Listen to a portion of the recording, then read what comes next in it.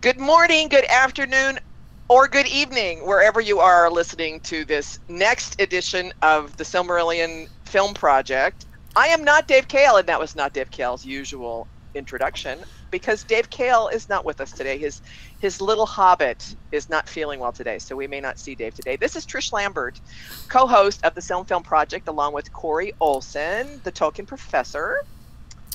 And we have two special guests with us today Marie Prosser, who's our wonderful behind the scenes, keep, keeping us informed and uh, looking good on stage. Without her, we would not look good on stage. And Nick Palazzo, who's been leading the script writing team. So, guess what we're talking about today? Script, script, scripts. That's Gee, I wonder. That's right. Excited to move forward. Uh, as I've said before, I really love these reviews and this chance to uh, not only go back and look at all the work that you guys have been doing on the scripts, but uh, or the script outlines, I should say. Um, but uh, uh, but just being able to kind of review things, uh, which it's been months since we've talked about, and to be able to kind of, it's so easy to get lost in the details as you're like focused on the issues in every episode, and to begin to to be able to see the overall arc, I really love it. So uh, I'm looking forward to uh, to moving forward a little bit here. It is fun, Hakan, to be reminded of what we're done. I totally agree. So, that's what we're going to do today, and I'm excited to get back into it. Uh, first, couple quick announcements. Um, uh, just uh, for those of you who haven't heard, um, we're doing uh, we're in the middle of our state certification process. Looking forward to beginning the accreditation application process after that. Uh, very exciting times for Signum University. We have submitted uh, our documents since last I talked with you guys. We have officially submitted. Uh, our paperwork to the state of New Hampshire, our 450 page document, and uh, it's uh, pretty awesome. That was a pretty awesome moment, actually. Ranks right up there with uh, uh, delivering my dissertation and my book manuscript, actually. Um, but it was uh, so it was very cool. So we've got that done, and we're we're now working our way through the process, and so there's still a lot to be done. Um, special thanks again, as uh, uh, as I have done before, for the. Um, uh, for the, the, the wonderful support that you guys have shown, especially uh, in the generosity that everyone has uh, demonstrated in helping us to pay our fees. We've already raised over $30,000 uh, to uh, support our credentialing effort. So we have all the money that we need uh, for state certification fees, and we're already a significant percentage of the way through what we'll need for the accreditation process. So, um, anyway, so that is absolutely fantastic. Uh, this is the link there. You can see there's uh, should be still a link on the homepage, signumuniversity.org, to take you to this page uh, to uh, uh, get the whole story about seeking New Hampshire state certification, which is again such an exciting period uh, in the time of Signum University. Um, we do have our summer semester begins on Monday. We are coming up towards summer semester. If you've been thinking about uh, jumping into the program, if you've been thinking about maybe auditing a course, now is an awesome time to do that. Um, uh, so you can. There's still time for you to jump in get in touch with us right away and we can get you plugged into that. Um, and Mythmoot 5 is coming up soon. Uh, we, there is uh, more information about the schedule available so you can see all the awesome things uh, that are going on. Um, go to signumuniversity.org and you will see the link right there on the homepage for Mythmoot 5, uh, for our Mythmoot 5 event. Uh, this is our biggest gathering of the year. Uh, the regionals are just sort of setting up for this, right? The regional, the, the new regionals that we've been doing, which are super fun, are still only one day teaser conferences at the end of the day. You know, they're only, uh, uh, you know, one afternoon of, of great fun. Uh, Mythmoot, on the other hand, is four days, uh, and it is absolutely fabulous. So, uh, if you can possibly come to Mythmoot 5, you absolutely should. Uh, it's really awesome. It's in Virginia, it's on the end of June, uh, and the registration is open now. Again, uh, links from the uh, homepage, signumuniversity.org. Um, and we do have the announcement of our next regional event, uh, which is Baymoot. Northern California. So uh, uh, August 18th uh, in Oakland, California is Baymoot. Uh, and again, you can find registration information there if you want to register for Baymoot. Uh, uh, that all that information is available on our Baymoot page, right? And so be prepared for the proliferation of our regional moots this fall is going to be the real the sort of the the real launch into the second phase of our regional moot program. We had our first few ex- expanded ones. We did London just last week. We did Texas in January. We did um, uh, we did the Midwest last fall, and now this coming academic year, we're going to be doing many more of them uh, as we continue to try to reach as many people as we can uh, uh throughout the country and the world. So I am really excited about uh, that. So, okay those are our announcements for today. Now, let us get to the script discussion. So, um, uh, Marie and Nick, uh, who are the, the, the, heads of our script writing team, are uh, with us here again today. And I just want to hear from you guys.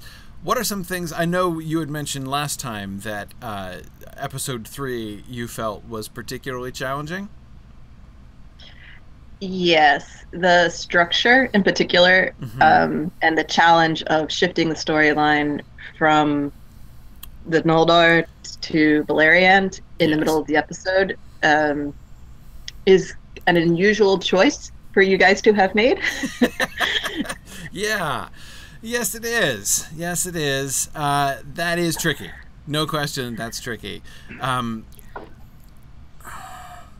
we don't one general reflection I was having as I was going through these next few episodes as a whole and kind of revisiting them. Uh, I was kind of reflecting. It's really difficult to do this stuff well. Like this, this part, this section, um, these next four episodes at least, episodes three, four, five, and six, are I think one of the most difficult, kind of awkward segments of story we've had in the entire SilmFilm project so far, um, in the sense that they're so. We're doing a lot of sort of gradual change, speeded up, right? Um, yes, yes, we are. and and you know development of you know like the building of relationships from scratch you know so like the meetings of peoples for the first time and the technological advancement of societies and the building of fortifications and all these things. Um, it's that's really hard to do. Harder, I think, as I say, than I think anything that we've done before. That that that we at least had, you know, the trip, you know, the journey in the first half of of season two. Uh, you know, the journey to the coast in which you know so it was still a journey they were going somewhere and stuff was happening along the way um, you know and people were dropping off for various reasons but it, st- it still had that overall thread of the journey right um, and then of course we have the rise of unrest in valinor in the second half of the season and the transition between them that is the comparatively long term of bliss in Valinor, we did very briefly, right? We just kind of suggested. And then they got to Valinor and we're happy for a long time. And then this now interesting stuff begins to occur, right? Um, and as I recall, we handled that. We, we, we had a lot of time pass between two episodes, essentially, didn't we? Wasn't it like around episode seven and eight last time? In season two? Yeah. Yeah, there were a few episodes where uh, almost an entire generation would yeah. pass yeah. between them. So, yeah. Yeah. Whereas we're... here we're a lot more real time, kind of, and it's going to appear to be real time, even though these are things that really couldn't happen in real time.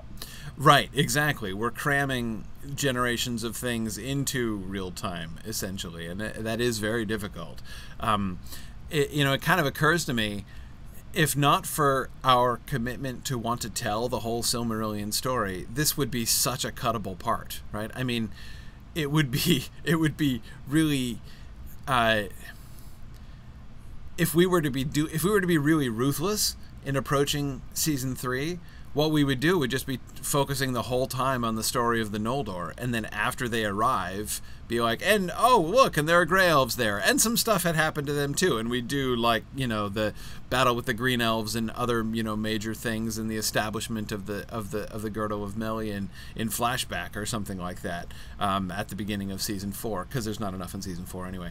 Um, but I mean, obviously, you know, we're not doing that, and I don't think we should do that. I think it's an interesting challenge to think about how to adapt the whole story as we're doing it, and to really uh, have this build up through Beleriand as well. And, and uh, so I like the fact that we're doing all this stuff, but we've not made it easy for ourselves. I mean, it's very difficult to to do. This is exactly the, th- this stuff would normally get cut for a reason. In other words. The, the other option would have been to restructure the timeline and find a way to keep Beleriand in season two after we went to Valinor mm-hmm. and show some of this mixed in with the Valinor storyline, then it would have been difficult as well. Very but that hard, was the yeah. other opportunity. Yeah, because there's so we much. didn't do it, and now it's too late. As Pretty much. too many days. yes. yes. exactly. Yeah, I love that. I love that that poem. Um, uh, yeah, but I mean, and I don't think it. I mean, I I still support that decision not to do that because there was, mm. you know, that Valinor story, the story of the unrest of the Noldor, is so crucial and so consuming. I think that this stuff would have seemed even weirder to be interjecting. In some ways, I think that giving it this sort of full focus, you know, having our focus shifting to Beleriand and staying there for four or five episodes in a row, is the best way to handle this because this stuff is well, I don't know what to say. Not very dramatic. I mean, it's world building stuff, right? It's like, let's talk about their society and how it developed over time, right? And that makes a horrible kind of interjection into an otherwise really interesting, you know, developing. There is a yeah. really good dramatic arc there in Valinor, right, in the second half of season yeah. two. And if we had been interrupting yeah. that with, meanwhile, uh, elves meet dwarves and kind of get along after a while, Anyway, back to Valinor. I mean, that that that would have been seriously weird. I think. Yeah. Well, the, I mean, we did definitely have to find ways to make these things dramatic. We had to insert yeah. conflict into yeah. places just to make it interesting. Um, in this episode, it was especially difficult because we were shifting focus not only mid-season but mid-episode. So I, I did kind of do some research uh, look for a successful show in which we insert characters which we haven't seen for about a season into a, the middle of an episode, um, leaving behind characters that we've been with for a while right. completely and not coming back to them in that same episode. Right. And I found no examples no of that examples. ever. yeah. Well, so so here's here's what I'm thinking. Yeah, I was I was I, was waiting with bated breath to see what example you're going to come up with. Me too. No, I was like, yeah. ooh, ooh yeah, this is going to be great. Yeah, no, oh well. so okay. So, so when we went into this episode, my hopes were not high. Yeah. No. Yeah. But you know, the other thing that some some shows will do, will they'll do, you know, earlier on XYZ, and then they they show you like they back, you know, they show you clips from backstories, and I just think that's super cheesy. I just think that's super cheesy. You know, it's like it's like as a way to try to remind the viewer of this character that was like right. you know, four episodes or last season and or something. Like, oh, just, I guess this guy's going to be important this exactly. Yes. Yeah, I mean, yes. it's just so cheesy. I just. Ugh. Yeah. On the other hand, it would be almost necessary for a show like ours to do stuff like that. When it's like, remember this thing for five Ex- seasons ago that was really important? except that could take like half an episode just to do the flashback part. Previously on the Silmarillion film show for the past 30 years. That's right. Yeah, exactly. Um, yeah. Remember the sword that we built back in season five? right, right. Neither do we. Uh, but anyway, that's right. Yeah. That's right. Okay, so, well, so Nick, here's here's here's the awkward thing. The awkward thing is having insisted that you try to do this nearly impossible thing. I was reading the outline and thinking that I'm now disliking it for a completely different reason. Like, not for narrative structure reasons, but I'm worried about the storm. So, we have episode three starting with the storm, right? Uh, Uinen storm mm-hmm. that wrecks a bunch of the, the Feanorian ships. And my concern was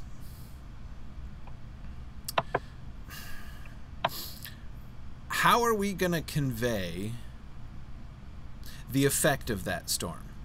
Uh, so if we have the storm whip up, right? Like so, Uinen is upset, and a storm rises, and the the ships are tossed, and the Feanorians are freaked out because they don't know what to do. They're not sailors, uh, and um, and and and and we leave after the storm. right? Like so the you know like we leave the Noldor ships being tossed around in the storm, or now Noldor ships. Um, aren't we giving the impression that they've been destroyed? I mean, what is the viewer supposed to take out of that, right? Either they take out of it that like the ships have all been wrecked, in which case they're going to be awful surprised when the Feanorians are still around uh, later on, along with the bulk of the ships, or they're gonna it's gonna really undermine the whole point of the storm.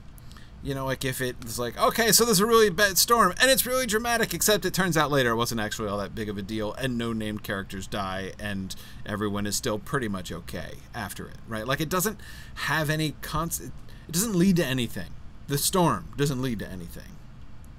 And. I, uh, I mean, the effect of it in the narrative is that it is it is the way in which the what I like about the storm and how the storm, you know, Uinen's storm works in the book is that it, it conveys like, you know, the the Valar and, and, and Maiar, but through them sort of is like the world itself weeping for the loss of the Teleri and the, you know, sort of showing that there are these consequences for doing stuff like this, right? That, uh, that, you know, instant consequences that can't be avoided. Like it has an impact, it does stuff and, uh, and, um, and it has consequences, but, but I don't know how to show the consequences exactly. And, I don't know. So I was I was having a I was having a little crisis about the storm. What do you guys think about the storm in general? Should we cut the storm? If we cut the storm, then we could just cut the Noldor from this episode. It was the desire to have the storm. The storm was the was cause was the thing that was causing the trouble because we didn't want to cut the storm, um, and we didn't want to put it at the end of episode two because we had enough in episode two, and we wanted to end episode two with the Feanor Fingolfin stare down as they're sailing out of you know the as they're sailing out of the harbor. That's an awesome moment to end episode two. Um, but we didn't want to lose the storm, so we put it at the beginning of episode three. It would be simplest to cut the storm. It would be possible to make the storm into a final coda scene to episode two. It currently ends not necessarily just with the sailing out of the harbor, but also the grief of Finarfin right. at, at the, after the, so we see the elves grieving the kinslain. So if we wanted a very short thing, we could see Uinen rise up and hit the ships at the very very end of episode two, if you, if that was preferable to what we've done here in episode if, three. If we did that, that would diminish the um, the emotional impact of it even further. If we did that with a short coda scene because it reduces the amount of panicked expressions we see and yeah. people sinking and yeah. dying. Um, so you're right that no named characters die, so it invites the audience not to care. Um, not that the audience has to not care yeah. about nameless people, but we they don't. Right. Um, that's that's that's my concern. Is that especially I don't want to say that we have to kill a you know a named character in order for a thing you know thing to have any impact at all. Um, but I think there's some truth to that. You know, if we just if we just off a bunch of red shirts, it's not gonna it's not gonna have the same kind of impact. And like I said, I'm just I'm concerned we're gonna be sending confusing messages, right? I mean, I, I think that if I'm just putting myself into the position of a viewer, if the last thing I see before we leave the Noldor story thread behind for a while is, you know, a goddess of the sea rising up in wrath and grief and smiting the ships with the storm, I would think that as a viewer, I'm being invited to imagine that that's the prelude to her just wrecking the thing. You know, like I would, I would be leaving saying, so is, did she kill them all? Is that what happened there? Right? Um, is that what I'm supposed to take away, and then I'm not going to find out for you know another five episodes? Um, and that seems a that seems a that seems a mismatch kind of message to send. You know, uh, I I would say I am 100% comfortable with cutting the Uinen Storm out of this episode. We'd have to restructure it, obviously, but it it would bring a lot of peace to my heart to not have left this behind in this way. Right, to not have to, to to just be able to start from the from the beginning of episode three with Beleriand, you mean? Um, yeah, there is a scene with the uh, Valar reacting yes. to the uh, to like that. I think we can find a place to put that, and it would be okay. Um, yes. It would be a little random, but it's not this weird like episode within an episode thing that makes me crazy. Right. Right. Uh, yeah. No, I agree. That would that would be fine. Um, uh, Zach is wondering if the storm could be brought up later in sort of a flashback when we return to the Noldor again. Um, uh, I could see that possibly working. The one, you know, the the thing that I would most uh, miss from the episode three outline that you guys made is the transition to Círdan. I love how you guys had, you know, we're transitioning from the storm to Círdan looking out over the sea, you know, with like a, a, a windy but not stormy sea. Uh, and, you know, that sort of sense of Círdan, you know, like sensing a disturbance in the force over there, right? But not really uh, knowing what happened. Um, I really loved that transition. We could still do that. I mean, we could still start the episode that way. Um, It'd be a nice Easter egg for people who know. Right. They're like, oh yeah, he can. He's sensing Uinen storm over there. Right. Right. For like the one in five thousand people. yes. Yes. Exactly. Exactly. Um, yeah. Yeah. Um, on one level, I don't necessarily mind having a false threat to the Noldor storyline before we leave it. Mm-hmm. Um, I know it's a little cheesy to do that, like, oh no, our main characters are in danger, and then you come back and just kidding, everybody's fine. Actually, yeah, they're all good. Yeah, yeah, right. Um, but I mean, if you do have a cliffhanger of some sort, though, I do think the audience will absolutely hate the Beleriand storyline because it's just getting in the way of finding out what happened in the cliffhanger. Yes, especially since it's also not enormously action packed initially, right? Um, so yes, we are leaving the like exciting cliffhanger for, um, you know, dancing in a party. You know, it's it's it, yeah. Peaceful elves in the woods. Exactly. So yeah, I think that that's going to be difficult. Um, uh, yeah, yeah, um, yeah. Okay, so let's let's cut the storm, or maybe we can we can kind of hint at it or vaguely allude to it.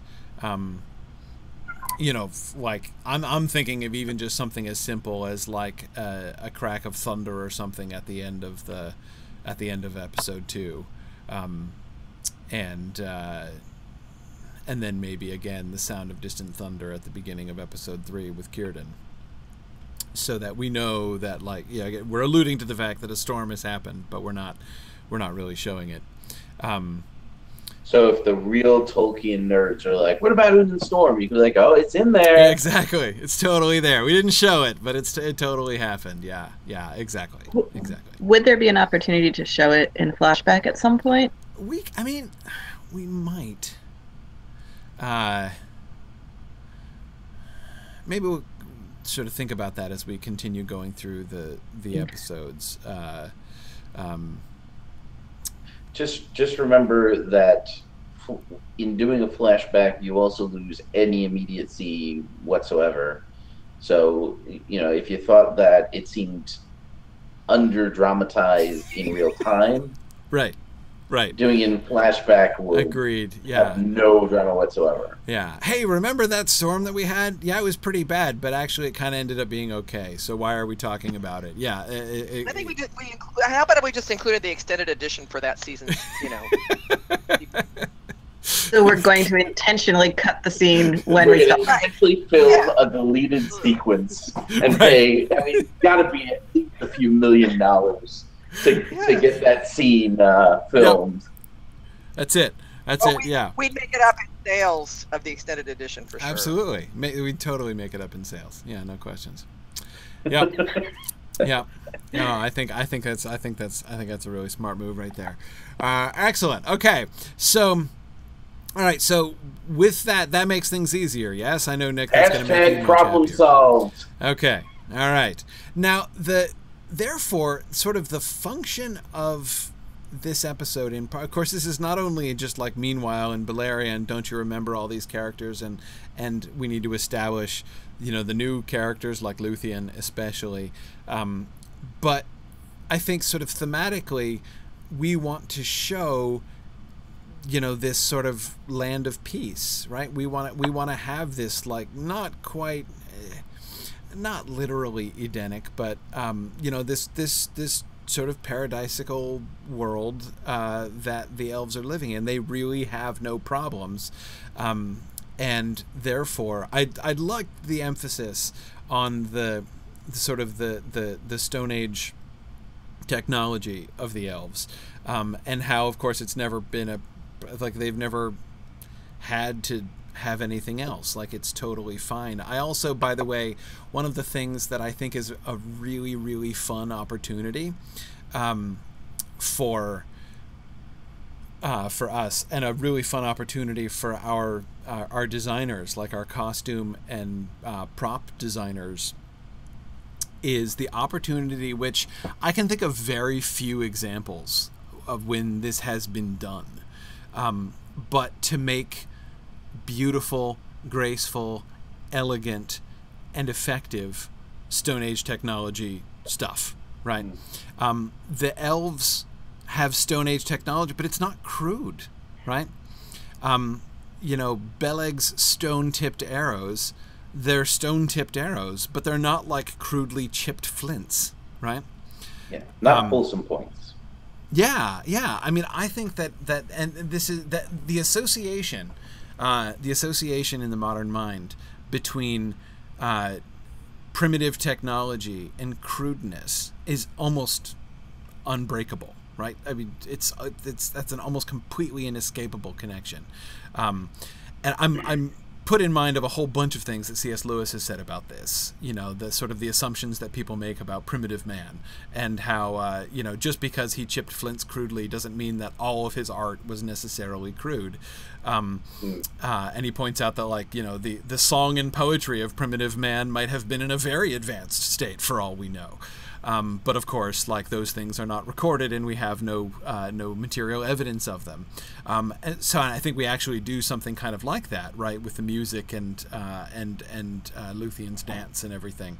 Um, but I think this opportunity to have technology, which is all on the on the you know the Stone Age level, but which is not uh, which is not ugly and it's not crude. I think that's really really interesting.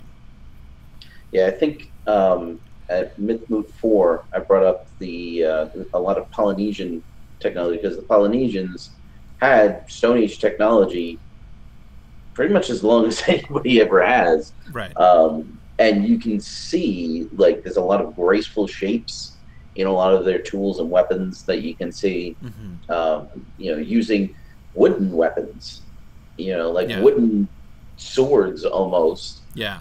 Um, you know, using the teeth of animals in ways that don't look ugly. Yeah. I think that, you know, they, that we could draw a lot of inspiration from stuff like that without getting too close to a real world analog.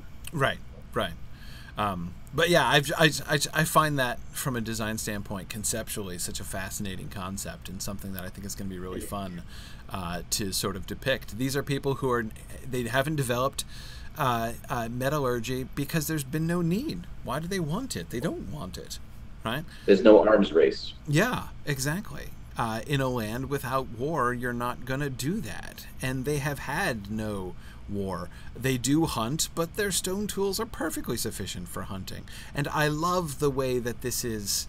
Um, I really like how you guys use Beleg's bow as a, a, kind of a symbol of this, right? You have Beleg's Beleg's old hunting bow, which was used for nothing other than hunting, and and uh, but is inadequate for war, because uh, he's never had to build a war bow before, right? So Beleg gets his uh, gets his strong bow uh, when a- after the orcs come, and it's time for them to. Uh, uh, to, to, to defend themselves and take up arms against Morgoth, who is attempting to destroy them. Um, I think that that you know that bow and the breaking of his bow, um, his you know, his his first bow, uh, is uh, a really a really cool symbol. So I thought that that worked really well. We, we do broken weapons a lot in this show. Yeah, yeah, we do have a whole bunch of broken weapons. I was noticing that uh, uh, that that that trend. Um, yeah, cool. Okay, so um, so quick question then about about episode three. Then, if we're cutting out the storm business, we do, as you were saying, we do need we do want to keep the uh, the Council of the Valar thing. Would we want to use that as a transition at the beginning, or would cause I think we'd need to, right? We wouldn't unless we want to use it as a transition between Círdan and uh, and you know not Menegroth, but you know the camp of the Sindar. Um, but I, I, I think. Could I, I think we, we, yeah. Go ahead. Go, go ahead. Good. Well, we could we could use it at the beginning and just kind of alter the dialogue a little bit so that it flows a little bit better directly into the Beleriand plot. Right. Right. Yeah, my thought was if we're interrupting the Beleriand plot, then it conveys the message that the the Valinor plot is still ongoing and and creates a false expectation that we're continuing with it right now, which we're not. So probably better to um, yeah, I agree that uh, the, it, it would need to transition more directly into the into the Beleriand stuff, um, which would be easy enough, right? Because we could have some of the uh, some of the Valar pointing out, um, as I think some should, like Orome, for instance, um, should I think express concern about what's going on in Middle Earth, right? Um, I mean, doesn't somebody? Ha- I mean, yes, they're upset about the Noldor and they're talking about the Noldor, but doesn't somebody say, you know, I hate to say it, but Feanor's got kind of the right idea. Shouldn't we be getting ourselves over to to the Great Lands and and and taking on Morgoth? We can't just let him go, right? And then somebody be like, well, you know, but the Noldor are getting what they deserve, and and have Orome be like, but what about the others, right? You know, what about the Sindar? What about what about the Nandor? Uh, you know, do they deserve it? He's not gonna he's not gonna just fight the Noldor.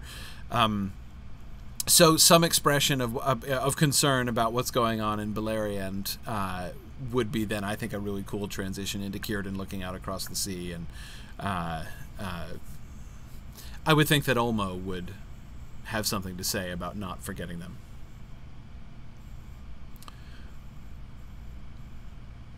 And that would be a really good transition to Círdan, actually. Yeah. Yeah. Agreed. Okay. Cool. Yeah, that'll work. Yeah, yeah, that works. Um, uh, yeah, Tony uh, points out the fact that Aule could meant could be concerned about his dwarves, or actually, Tony, I bet Aule would express some confidence right? Because remember, when we meet the dwarves, they're already going to be fully armed, right? Uh, because they were like they were they made they were made paranoid from day one by Aule, right? They were designed uh, with defense uh, against attack, uh, uh, you know, uh, in mind from the beginning. Um, so yeah, that's why I like they, that idea. Yeah, yeah. Aule's like. I, my people are ready, man. I, I tend to have a lot of fun designing dwarves fortifications. Yeah. Um, you know, like I've been waiting for that because like I've been holding back, right? Like in thinking about fortifications, I've been holding back because you can't make it too advanced. You can't get there too quickly. Right. But yeah. Yeah, but they they totally can. They can they don't need an attack from outside to have first established their defenses. That's just in their DNA, right? Uh, to yeah. uh, to like be on. You can have like high Middle Ages level uh, fortification in dwarvish structures and stuff. So. Oh yeah, absolutely. Um, yeah, no, that's cool. Um, yeah, good. Uh, other other things that you wanted to let me uh, go have a let's see, where did it go? Oh yeah, there it is. Episode three. So just kind of scan me. Oh, uh, the uh, I thought the the frame worked really well by by actually just sort of like overall. Uh, I thought you guys did a great job with the frame. Um, I really I really liked the way that the frame flowed and the the parallels with the frame um, and the main action. I thought worked really were really strong in this set of episodes. Yeah, well, in, in this episode, we had to rely very, very heavily on it because it was the only through line that right. existed. Right. So I, I, we basically had to make this the the frame the focus in this episode. Yeah, and I think it, it makes sense um, in any case to to still ha- even without that uh, you know, even cutting out the storm and therefore making the Valinor segment easier uh, here in this uh, episode. It still makes sense just for the sake. I mean, this is the turning point of the of the frame in a sense, right? Uh, I mean, the, what happens in the frame here? You know, the decision uh, of of Estel to like continue on and to, to be traveling with Elladan and Elrohir here at all in the first place is um, kind of what makes the whole rest of the the frame story move, right? So the, there's there's more that needs to happen here than any other episode, as I recall. But uh, okay, yep. So uh, let's talk briefly about the meeting with the orcs. Um, and oh oh no wait wait first I want to talk about investing Melkor investing his power in Middle Earth. Mm. Let's think about that. He should sing, is my main thought here, right? Melkor should sing. Or at least hum. At least hum. Yeah, no, I think he should sing. I think he should sing. Kazoo. He should have a kazoo. he should have a kazoo. He pulls out an evil and sinister kazoo. or no, a vuvuzela. Vuvuzela. The, the Balrogs with the kazoo, you know, little kazoo band behind him. yeah, oh, exactly. Yeah, no, he should he should sing. He should sing. We should have and and and it's easy because we have his main theme from the Discord, right? I mean, you know, we have his primary theme. Um, uh, you know, this his loud, brash, repetitive theme, right? Um, Is it bad that when you said Discord, my first thought was like the, the game was the chat? software? Yes, exactly. Yeah, I know. Oh, I, I, I, I think of that connection often, actually, but um, I I uh, I'm I'm just wondering like how many. Uh, I can't be the only one who wants to have a Discord channel you know, called the Discord of Melkor, right? I mean, like, surely you could make that happen, right? Uh, but anyway, uh, so right, um, yeah. Oh, interesting. Mike uh, uh, suggests that maybe this is the last time that Morgoth sings. Like, we don't see him ever sing again. Whereas others, like Sauron, we're going to see, uh, you know, him sing at various points, um, but we don't see, uh, you know, uh, uh, Morgoth sing anymore. Maybe. Um, but yeah, I, there's no question that you know Melkor, you know, distributing his spirit throughout like the bones of Middle Earth is uh, hard to convey visually, you know. Um, but I think a a musical reprise of the music of the Ein- from the music of the Ainur, which of course people may or may not remember by season three, but nevertheless, um, I mean, we will have recalled it still in uh, you know in, in in soundtrack themes to this point, so it'll still be familiar. Um, so uh, so yeah, uh, to have him to have him singing I have placed a note in yeah. the file. He should sing. He should sing. Okay. And we had the have we had the reveal the Balrogs reveal? Did we get Balrogs reveal somewhere? Episode 1, Episode 1. Oh right, because that's when he came in and he he he takes over the Orc project, right? Yeah. Right. Okay. Yeah. All right. So that's fine. Kill one or more drow. Right. Right. Okay. Yes. Um, okay. Ooh, interesting. Mike has a great suggestion. He says visually, maybe that we the scene in which Melkor sings, uh, maybe it can be a kind of a preview or anticipation of the sunrise montage in the last episode, right? To see like darkness and shadow creeping over the world uh, as Melkor sings. That would okay. be really interesting, yeah. actually. Yeah. I like that. I really like that idea.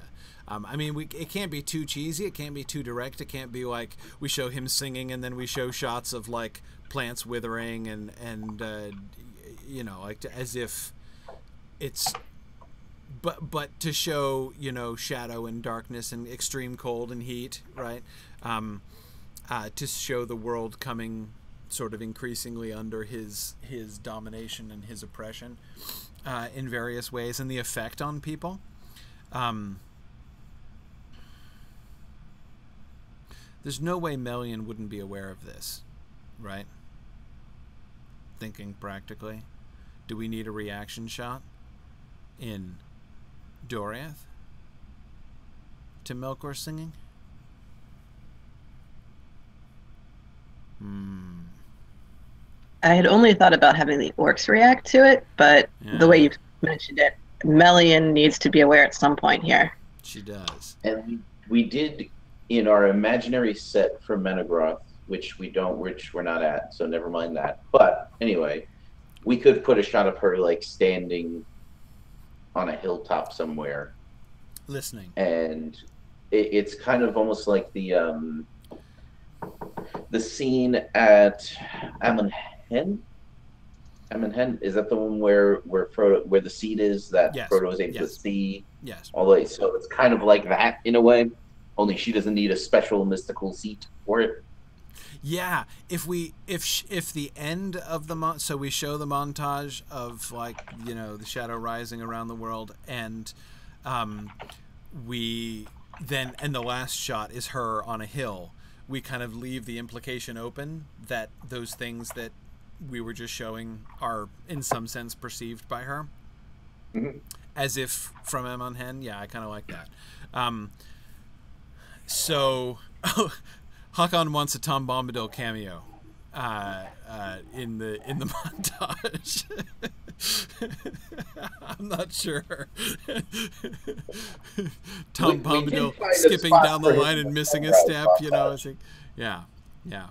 Um, we did include him in the sunrise montage. In the sunrise montage, good. I, that's, yes. I think that's that's probably a better place for Tom Bombadil.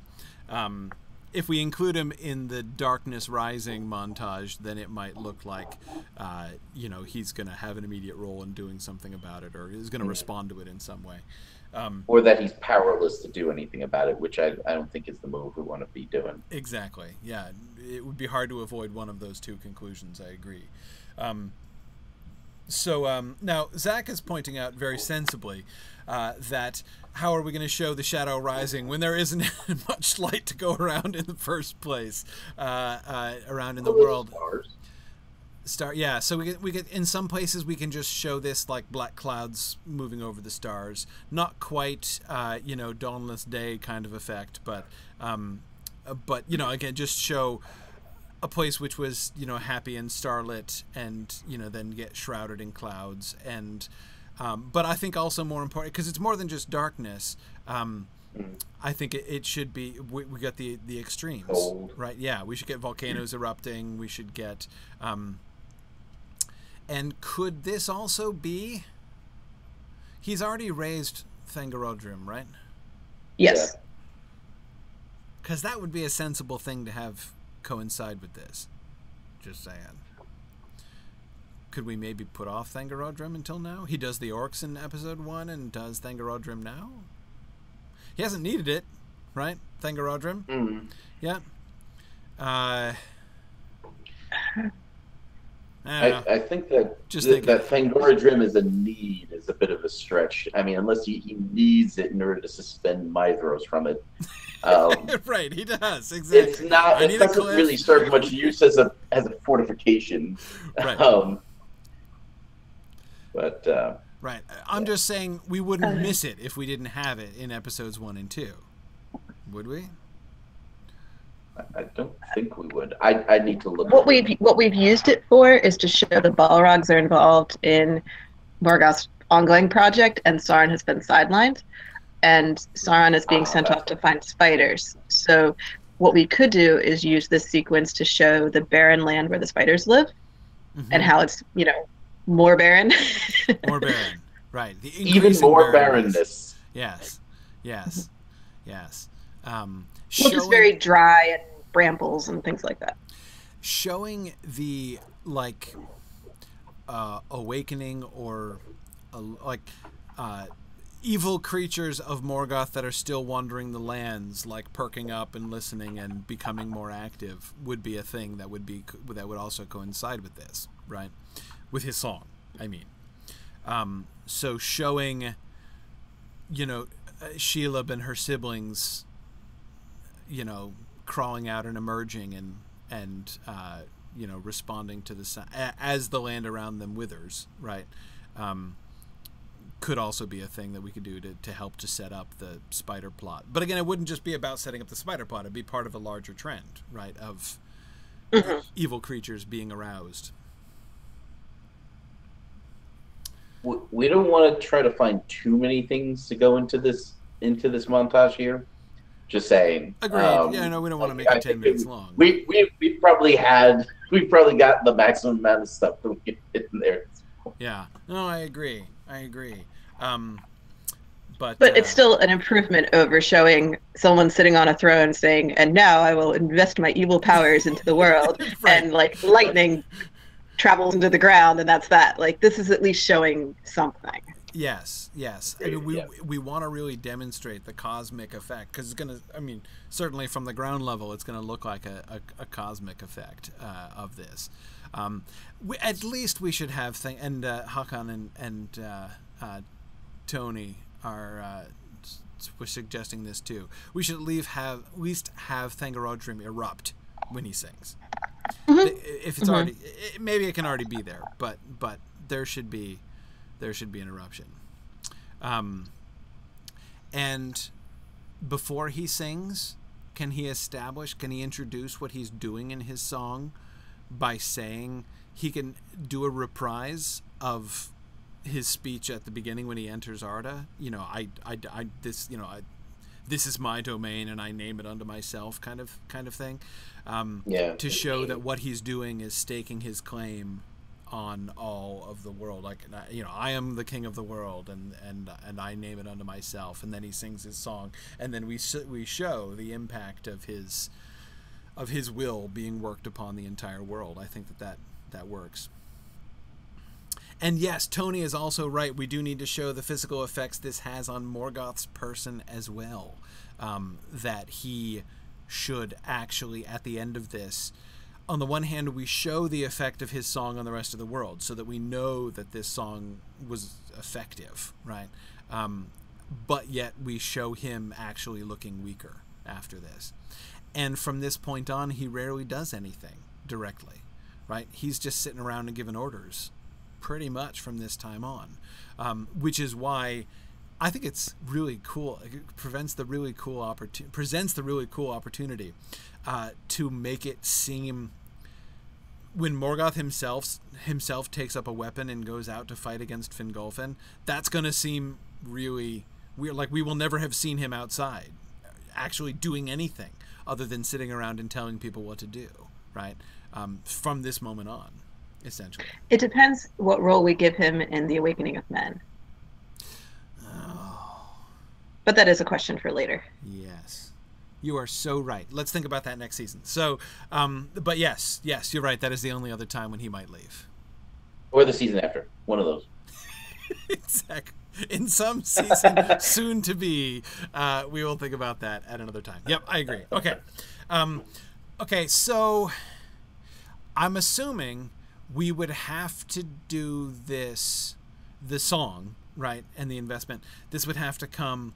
Uh, I mean, as you guys have it come well after the the. So we have to have our paradise first, right, before he sings his song. Uh, yes. So we have the Doriath uh, uh, uh musical celebration uh, and everything. Um, yeah. Okay. No, that all works. Um, everything's happy in Doriath and Luthien singing. Um, flowers springing up, I agree. Uh, at her feet, that totally should happen. Um, and then uh, and then Melkor sings, and Melian can say something ominous, but not extremely illuminating to Thingol afterwards. And then after that, we get Beleg's meeting with the orcs. By the way, I don't think we need to invent an. Uh, like the business about the deserters, I think that's kind of TMI. I think we can have some orcs just wandering about you know, I think I think he would release some orcs just to wander about and do mischief. Um, I don't think we need a, a, a explanation of that. necessarily, but um,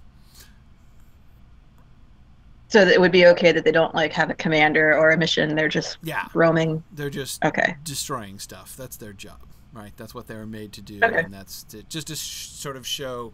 I mean, in some ways, actually, I, I, kind of like that even better because it's. Um, this just shows sort of the f- spontaneous overflowing orc nature. Like this is the this is the spirit that morgoth distilled into them right? Um, this spirit of hatred okay. and dis- and destruction. And so they're just they're just they're just doing them right? They're just they're just being themselves. Um, and that's how they are when Beleg meets them. Um, yeah. Ooh Mike is suggesting maybe we want a reaction shot from Manwë to Melkor's song it is going to be kind of hard to admit. We have started this episode with the Valar. Are we not going to get a Valar reaction shot to Morgoth's song? Hmm. The only thing there is if we continue to to go back to the Valar in here. Yeah. It is like it, it you brought it up earlier that we don't want to kind of give the impression that they're they're going to act anytime soon on this. Right. Well, on the other hand, I I think if we have a scene at the very beginning in the opening, if we have one more brief glimpse of Manwë now, like that's okay, I think. Well, especially since it's, they are going to do something, which is the sun and moon, right? Well, um, yes, but we're a ways away from that. We are exactly. Uh, but Valar time. Valar time, exactly. Uh, it's it at least it, it, my point is that showing the Valar responding to it is not necessarily a promissory note. We're not going to we're not going to you know fill right. We're we're, we're going to mm-hmm. pay that note later on. I mean, it, it's it's not going to be immediate, um, and so you know we can't have them springing to action. But well, he, here's the here's the thing. Like if you do it, if you if you interact with the Valar at the beginning of the episode, it's kind of just set up right? It's set up for you know, it's it's a transition there. If we put him in here again, if we put Manwë in here again, then it's yeah. a plot line yeah. that has no resolution and it's basically yeah. just like a dangling thread. Yeah, no, I agree about the changing it from a transition to a, a line. Yeah. Okay. Well, let's not let's have Melian be the kind of stand-in for now because okay. honestly, Melian as stand-in for you know the divine powers in Middle Earth is kind of her job. Actually, you know, she's like the. Mm-hmm. Uh, it's not like she has ambassadorial status or anything, but I mean, she is the link to the Valar in a sense, you know, to Valinor. Um, okay. So yeah, so let's do that because, but we can allude back to it in the Sun and Moon discussion right? We can make it clear that the sun and moon discussion is explicitly a and now we're responding to, you know, Melkor's that thing that Melkor did, right? The song that he sang. Um, yeah. Okay. Okay. Um, yeah. Cool. All right. The I like I said I like the orc thing and I like the Jaws reference, and I like the. Uh, that was all good. Oh, Eol. Um, I like Eol. Um, I I don't overplay Eol because as we went through the season, I I was kind of feeling like sidelining Eol more and more, and in particular, I don't want to do Nan Elmoth yet. Right. Uh, right. As we talked about later on. So. At yeah. this point, when we were creating this, they were still like Nan Elmoth was still on the table for this yeah. season. Yeah. Yeah. Um, here, here's the thing, like, if it's weird that he's not involved with the dwarves, dwarves at the point yeah. um, during this season. Like, so we kind of have to have some indication that that's going on. I mean, we could do it in flashback later, but as everybody knows, I hate flashback. Um, yeah, no, I mean, I agree. You, we, we, you definitely don't want to. It is super easy to overdo flashback. Um, I mean, I don't think it should always be avoided, but I, yeah, no, I, I agree. Well, we're basically doing this whole story in flashback, right? Exactly. Um, but apart so, from like, that, yeah, yeah. well, it's like I just as soon as you do nested flashbacks, I start to cringe a little bit. Um, which any flashback in the main story is essentially a nested flashback to start with. Yeah, kinda, but yeah. I mean, it it could be done, and it could be done fine. I don't think that it, we we would lose too much if we did his whole backstory in flashback here. Well, um, I think we just want to be. I don't want to set it up to make it look like Eol's going to be a really central character when he's not. Essentially. Yeah. I mean, he, he he's going to be here, but he's still going to be pretty much on the periphery for this season.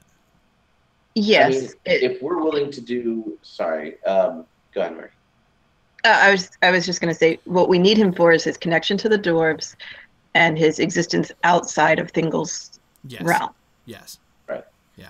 And now we can do if we did like a an Eol centric um, episode where we do flashbacks um, to a story sometime in in episode four, some sometime around the time that he um, that he doesn't kidnap Aredhel, um, I think that that would be okay. Yeah. I, we will need him when we get to Nan Elmoth, which I think will be next season, and then we need to have him establish Nan Elmoth, and we need to have Anglachel made, of course, as part of the Nan Elmoth thing, and we need um, to. And I like the th- the storyline that you guys were working on about him and the dwarves and his, um, you know, Telchar disowning him basically and being creeped out by Anglachel and, uh, you know, showing that uh, he's not creepy because he's friends with dwarves like he makes his dwarf friend he's so creepy he makes his dwarf friends uncomfortable right, um, right. and using that uh, i think that's a really great way to introduce the whole like uh, how sinister Anglachel is so that when Beleg is like, oh, I want that one, you know, we want everybody to be like, no, Beleg, not that sword. You know, it, it, I think that's great. Um, so well, if we want that, then it does kind of have to be done in this season. Yes. Um, yeah. And if we are doing that, we do need some setup that he has a relationship with the dwarves. And since we're about to meet the dwarves, and he's not going to be in that episode, um, then this is kind of the only place to to like hint that that's coming. Right. The the question here was whether or not we wanted to tease the introduction of the dwarves in any way before the episode in which we introduced the dwarves. So that was the point of this sequence was to be like, oh no, what's happening? Find out next time. Right. Um, right. But if you don't think we need the teaser, we don't need it. I mean, it's fine. I don't think we do. I don't think we do.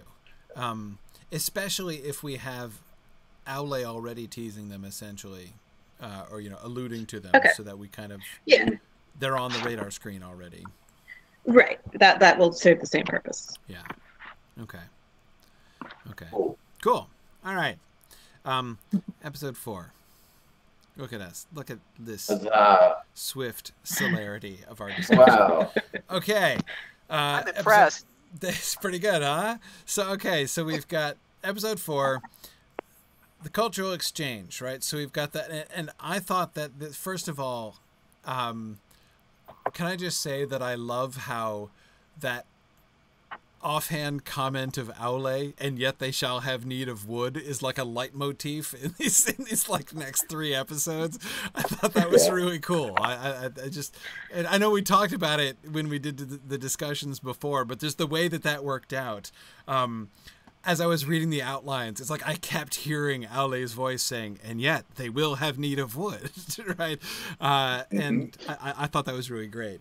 Um, you know how, with no reference, with no overt reference to that passage, uh, that discussion between Yavanna and Aule is just like, you know, a, the dominant sub theme of this of this whole section. I thought that was I thought that was really awesome. Um, okay what what were your sort of chief issues here? What what were the, the main things that you were uh, uh, sort of curious ab- about, uh, you know, reaction to, or or uh, uh, most things that you were struggling with in uh, episode four? So one thing we it didn't come up in our discussion, but it came up as people were kind of looking at what had been done. Um, is the introduction of the concept of language. Yes. All right, because we had to have some way for these guys to communicate. We couldn't have, and I was extremely concerned about sidetracking to go into this whole like learning language thing in order for them to communicate. Yes. So the only way that that we can, I think that if I recall, this had been discussed in the uh, in the main session as well, um, was having one or more of the dwarves having had contact with the green elves over on the other side of the mountains and being and there being some communication that way. The concern was that it makes Nandorin look like it's the same language as Sindarin, uh, rather than being a separate language that just has some similarities. The issue with that, with finding a way to do that, is that English doesn't really have anything like that. No. Um, if you were doing this this show in a lot of other languages, you could find a language that was close enough to that language where they, they could kind of get what each other like if you were doing this this show in Spanish, you could have them come in speaking Portuguese, speaking Portuguese and it that's would exactly probably be okay. Thinking. Yeah, yeah. Right. Um, English is weird in that essentially it's as the good joke goes, it's three languages standing on top of each other in a trench coat. Yeah. And so there is no close analog to it. Um, the other option would be for Norn to actually be speaking Nandorin, which would be okay, except it doesn't sound anything like English. So why is Mablung able to understand any of what he's saying? Right. Well, I mean, essentially, the thing that I kept coming back to is the problem that we were confronting before we started season one, right? How are, how are we going to do the elf languages because of course the problem with Nandor and Sindar you know and the the you know the, so the the Sindar language the Nandor language is the same thing with the Noldor language right um, and of course that's gonna in the text that's made a huge deal of in fact right. of course it's the origin of uh, um, well, of the whole approach yeah and you know the the whole Quenya Sindarin thing one of the reasons is one of the reasons why I felt it was extremely important not to have the Sindar and Noldor make contact in this season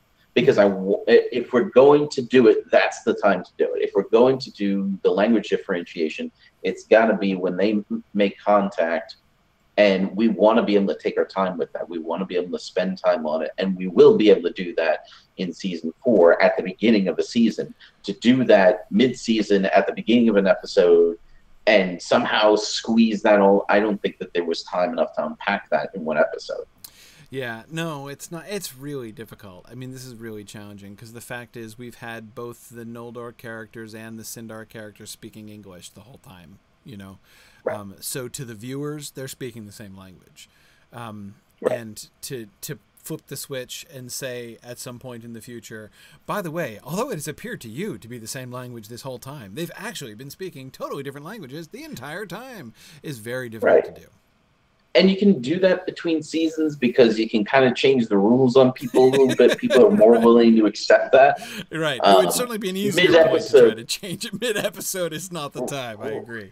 Right. Um, the other issue was that if um, the dwarvish interpreter is speaking Nandorin,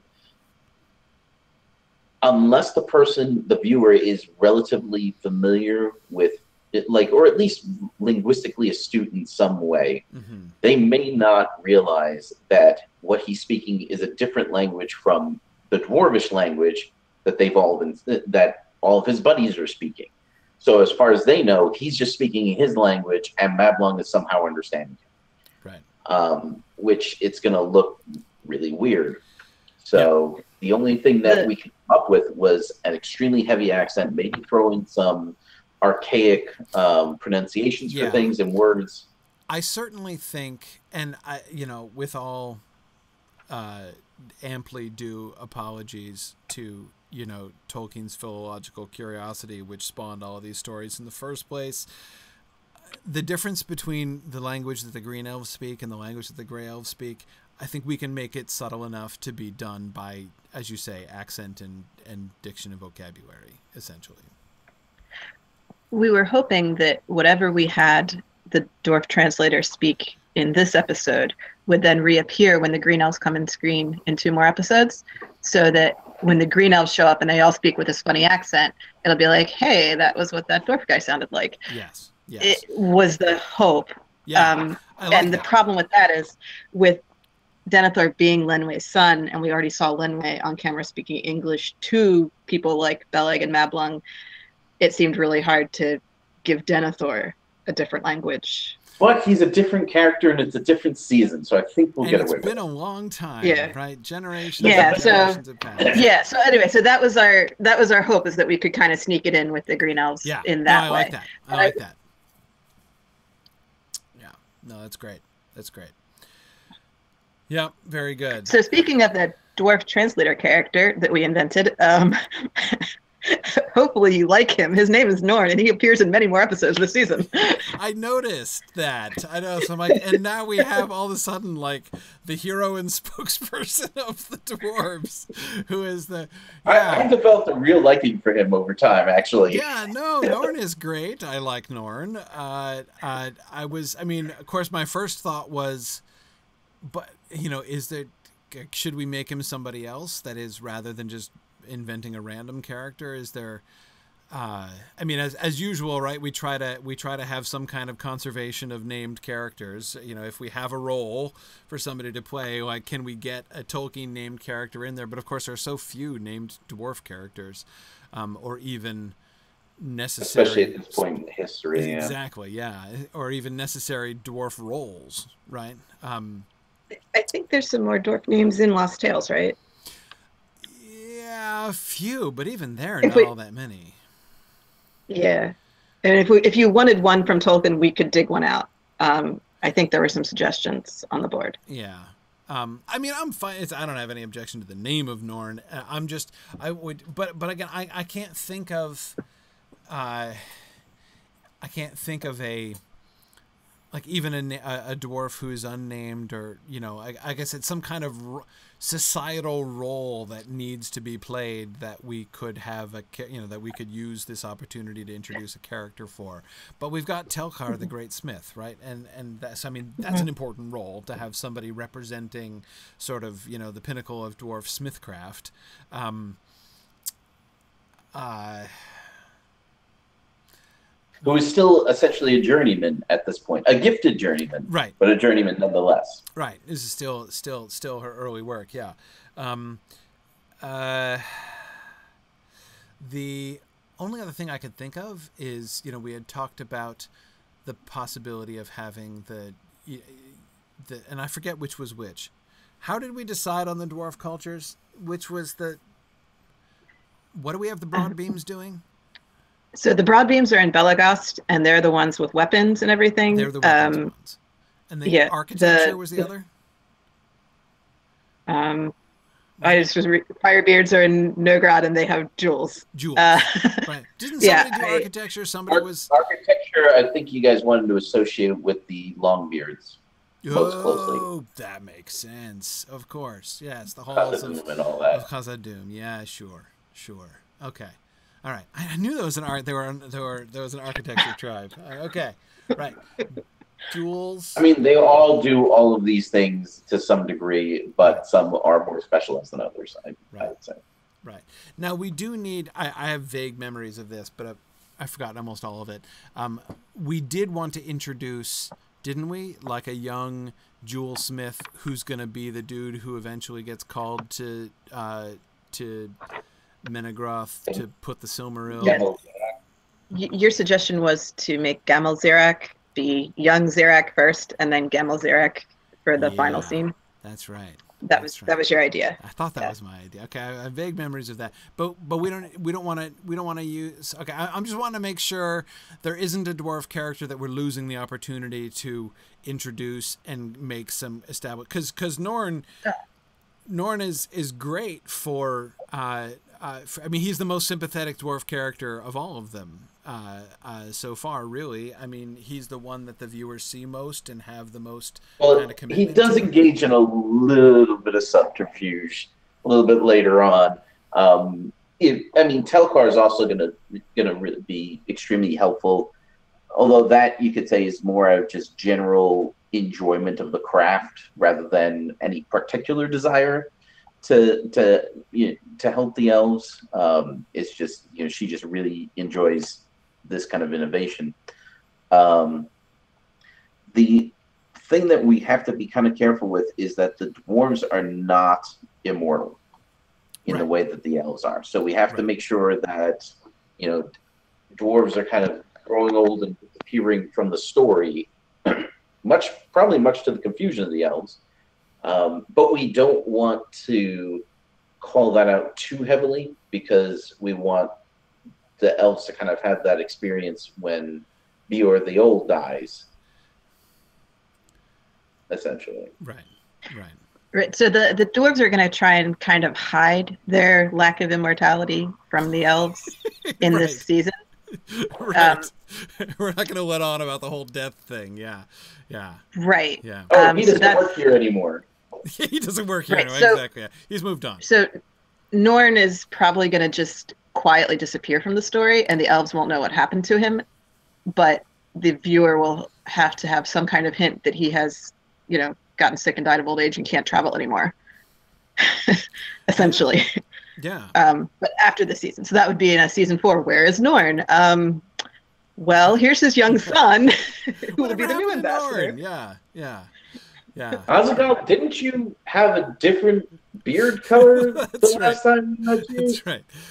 Hakan says suddenly oh. there's a there's a new younger guy called Norn. The elves can't tell the difference. You know, they're like, "Oh, Norn, you've changed." Yeah. They they all look the same. exactly. Uh, yeah. yeah. And that was I know you had wanted the um, the kings of the dwarves to be consistent yes. throughout the story. So we have Azaghal here. We'll also have Azaghal in the you know yeah fifth season or whatever but um, probably a different Azaghal. but could it be like Azaghal one, Azaghal two, Azaghal three, where the, the elves don't even realize it's a different Azaghal? yes. Is that a, is that an acceptable interpretation of your desire I love for it. a consistent character? That's awesome. Okay. I mean, you can course, be played by the same actor. I don't mind. I just it dovetails really interesting with the whole Durin the Deathless thing right? Like, yeah. is it really right. Durin? Is it you know? That, uh, well, yeah, Tolkien hints very heavily that that's kind of what the dwarves are doing. Yeah, yeah, uh, yeah. That's kind of fun, actually. I really kind of like that. Um, um,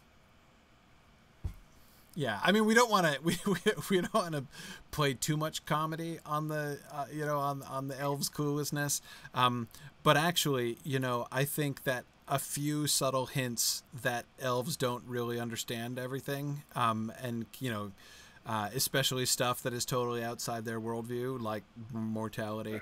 Um, yeah. Is uh, well, and you know this thing of, of like during the death, like doing the Azaghal, you know, it, that is totally dwarfish. That's not even like comedy. You know, that's totally yeah. something that dwarves would do. Yeah, yeah. Oh, it, and I think we have a, I think we have a scene somewhere where the dwarves realize the elves don't die of old age. Right. Yes. And like they kind of like, oh, and like they kind of suspected something this whole time.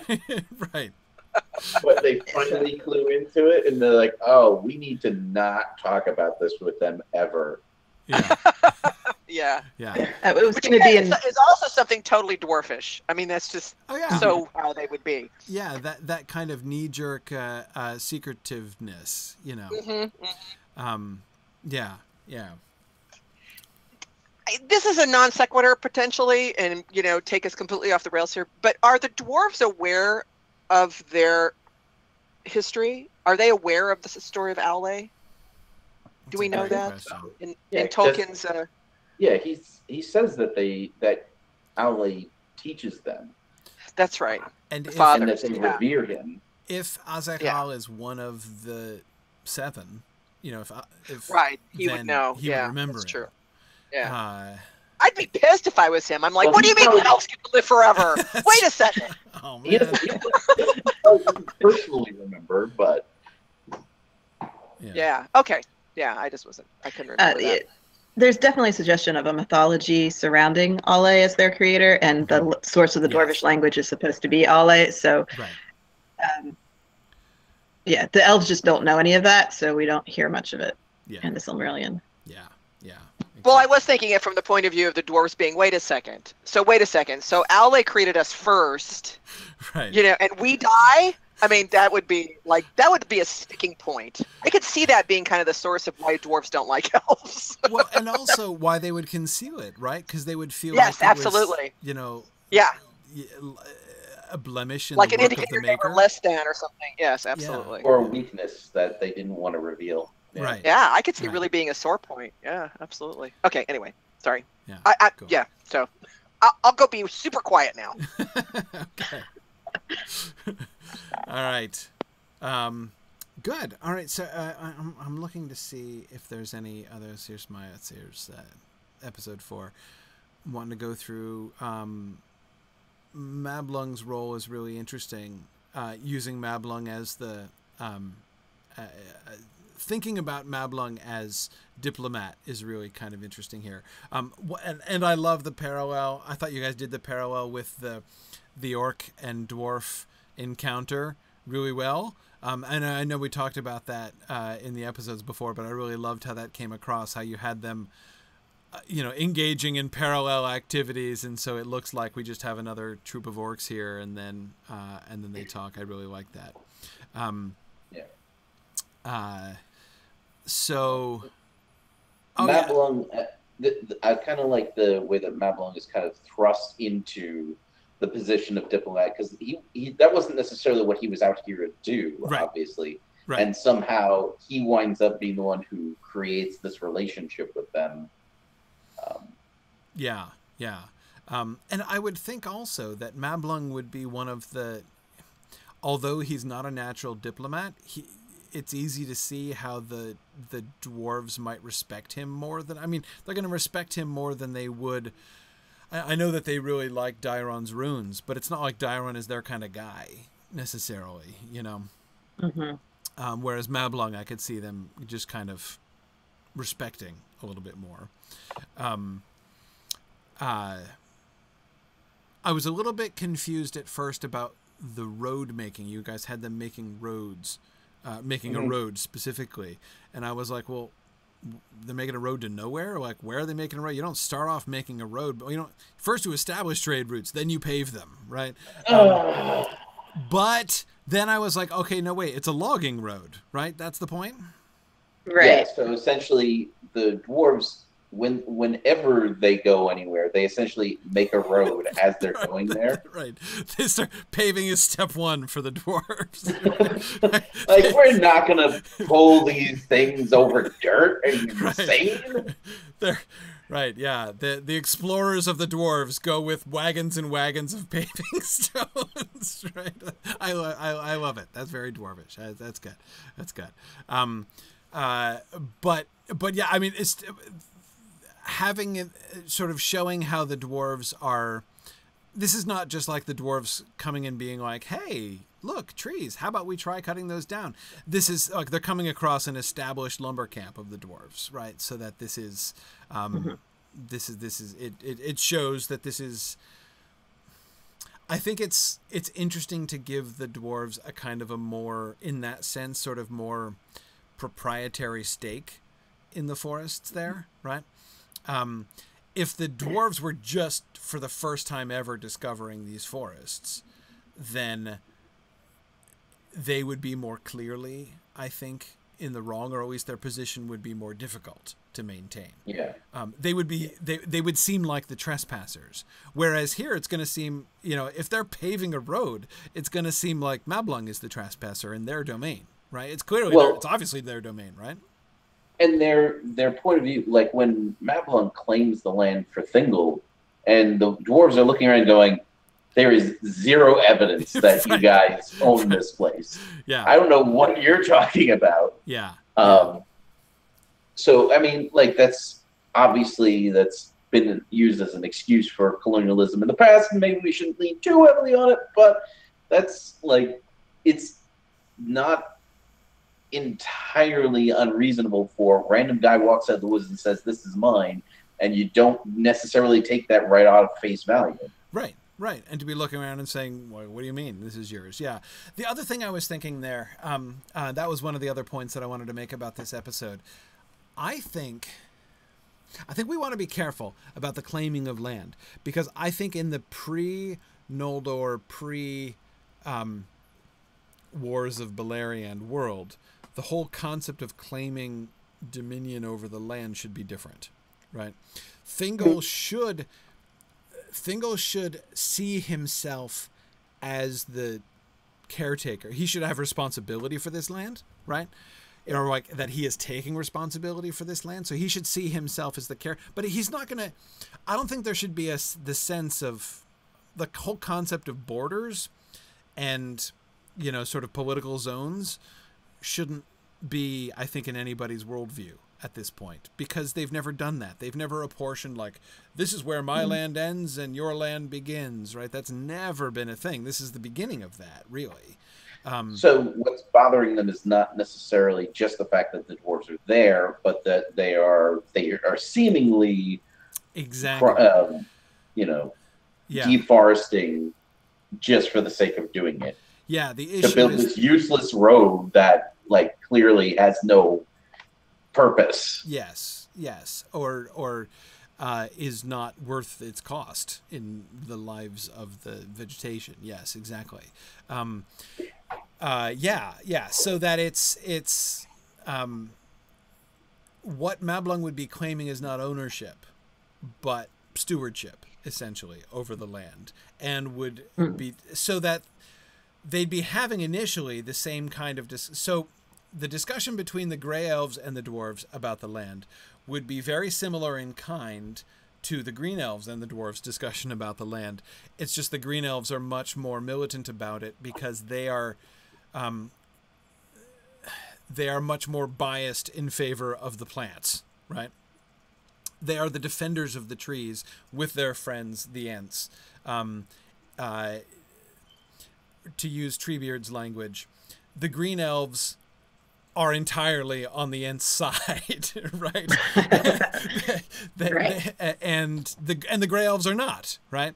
Uh, the gray elves are not looking at things from a totally tree biased way. The green elves are, right? The green elves are biased towards the trees as shamelessly as Treebeard is. Treebeard, um, and I love I love how you how you guys were confronting that. Like Treebeard will see no justification. Their need of wood is no excuse to Treebeard, right? Um, yeah uh, whereas yeah, like I, the, the Grey Elves at least get that. The Grey Elves get they, that. Yes, exactly. So I mean, and and I really like the way in which it looks like this is all coming like you know. So at first, their first the first impression of the Grey Elves is that the dwarves are orcish. They're just destroying for the sake of destruction, and then the dwarves explain.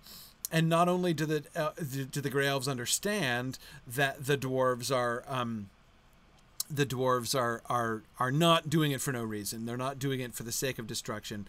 Uh, there is there is a purpose. There is a utility. But they also begin to see this is a utility that we could use. I mean, it's it's useful for us too. Right? We should uh, you know we could really take advantage of the you know technology that these dwarves use. We, we you know we we need their help. Uh, and then the the green elves come in and are completely uncompromising. Right? Um, they don't understand. They don't care the utility. Um, utility is not an issue for them, and so we have the same issue, but now escalated in a totally different way. Um, so, which was something we wanted to be careful with too, because it would be super easy to just have the same conflict twice uh, in these cases. So we had to be very, very careful to to nuance out the the gray elf's position in this. Yeah, it is tricky, but it's it's it's kind of nice to be able to establish the gray elves as this sort of ideological middle ground, right, between mm-hmm. the dwarves who are much more utilitarian in their approach. They don't they don't particularly care about the trees as living things, um, and I like how even you know even their the way that they they get kind of won over by the idea of no if you you know if you're a little bit more cautious and respectful in how you cut down the trees it will actually help you to grow trees better and faster. So you know you'll have more wood at, at the end of the day if you do it carefully and respectfully uh, than if you just do it without any regard for the lives of the trees. Um, I, I kind of like like that that that strikes me as a very like in the way that we're constructing this a really good kind of gray elf position. Um, mm-hmm. uh, you know, moderate logging. It's seriously like if you if you're thoughtful. And, and, yes, exactly, and, and and and and we're doing planning, and then the green elves come in and they're the uncompromising end of the you know like no way man. Like i don't care. Like the the killing trees is murder. Now what do you have to say? Like that's you know. yeah. And i think marie pointed out if i recall correctly that if you look at the map if i'm again if i'm remembering correctly there is a road that starts going towards doriath and then abruptly stops in the middle of nowhere And so essentially, we have explained how that happened. That's really great. I like that. Yeah, the dwarf road, the the dwarf road to Sarnford is, uh, it stops Random. at the River Ascar. So, the question is, why does it not continue into right Doriath? Here, yes, it just peters out. Yeah, yeah, yeah, yeah. That's cool. so, so exactly, so, see, we're solving a map mystery at the same time. Mm-hmm. So are we good on this one? Yeah, yeah. I think that was the uh, that was the last thing. Um, that business about the territory and the and the mm-hmm. political thing was the last thing that I wanted to yeah. emphasize there. You mean we're gonna do three episodes this week? Brace yourself! Oh man, and holy like mackerel! I I, I, I told you I'm going for four or five. put my belt on here. exactly. Okay, so we have the discovery of Menegroth. Um, uh, here we have essentially the sort of the flowering of the partnership of the dwarves and the elves, right? Um, one concern, I don't, I mean, I don't know if this is a huge concern or how big of a concern this is. It seemed a little one-sided. Um, you think? Yeah, which but which is not a problem in one sense because of course our story focuses on the elves and not the dwarves. So if we focus more on what the how the elves benefit from this than how the dwarves benefit, that's understandable. But the problem with it is that we've depicted the dwarves as being really utilitarian. So if if they're the losers in this if they're investing all of these resources in helping the elves and getting very little out of it um, we're not really being true to their character right? So yeah, I think this was a point of much discussion. Yeah. Well, I think I think this could be solved relatively. Here's here's my here's my here's my suggestion. Here's how I think it could be solved relatively easily. Trade, right? Um, the dwarves are into trade. They like trade. The elves never thought of trade. Like they don't care. Like they're content with what they have and just living with what. And so they are now seeing the usefulness with getting metal and metal products and things uh, from the dwarves. Um, they're seeing the value of what the dwarves have to offer. The dwarves don't need to be told; like they like trade. Now, we I love how you guys worked in over the course of uh, of these uh, string of episodes the things that we know that we're told in the text that the dwarves really value, namely pearls and runes. Um, but of course, thinking more broadly there are lots of things that they're um, there are lots of things that they're going to have or that they're going to value that are not just those two things, right? In, in that they can acquire in trade. Um, there would yeah. be a bunch of things they don't have access to normally that the elves would totally take for granted, right? Um, yeah, one once one issue that was brought up was that dwarves don't usually domesticate animals themselves, right? And so, if they're going to get any um, pack animals or anything like that, they probably have to get them from somebody else who has already domesticated them. Mm-hmm. Mm-hmm. So that would be one thing the elves could offer to the dwarves would be a beast of burden. yeah, well, and like leathers and and and uh, uh, leathers and like lots of plant products, crops for crying out loud, right? I mean yeah. that mm-hmm. uh, grain and stuff. The, the the the dwarves. I mean, I think there's plenty, even fish and stuff. Uh, you know, from the sea. Yeah. In addition to to to, to pearls. Um, there would be. I mean, yeah, they, they, they still would definitely place a definite value on um, pearls and runes. You know, those are those are the those are the big prizes. But um, here, here are some dried oysters. Each one comes with a prize. yeah, I mean, there's there's yeah, there's lots of potential. I think there's lots of potential for them to to have. And again, and, and I think the elves should be very naive about this. Like that that trading is a is a is a big thing among the dwarves. Like it's one of their it's one of the things that they love as a culture.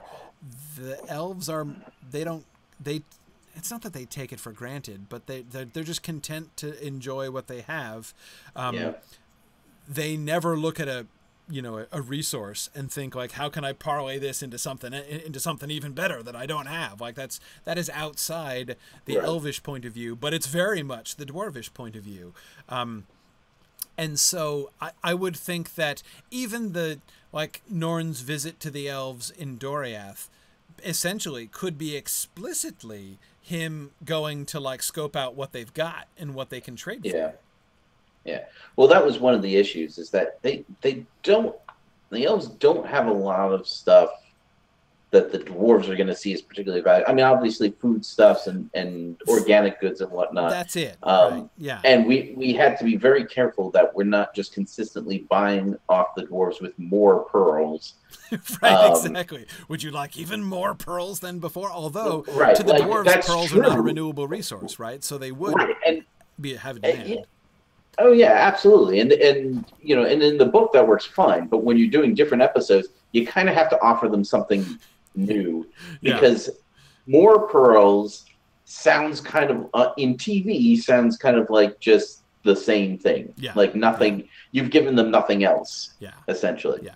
Um, and one thing, it seems to me in reading the book itself, it seems like the dwarves are kind of like grooming a trading partner they're like mm-hmm. cultivating a trading partner here. Yes.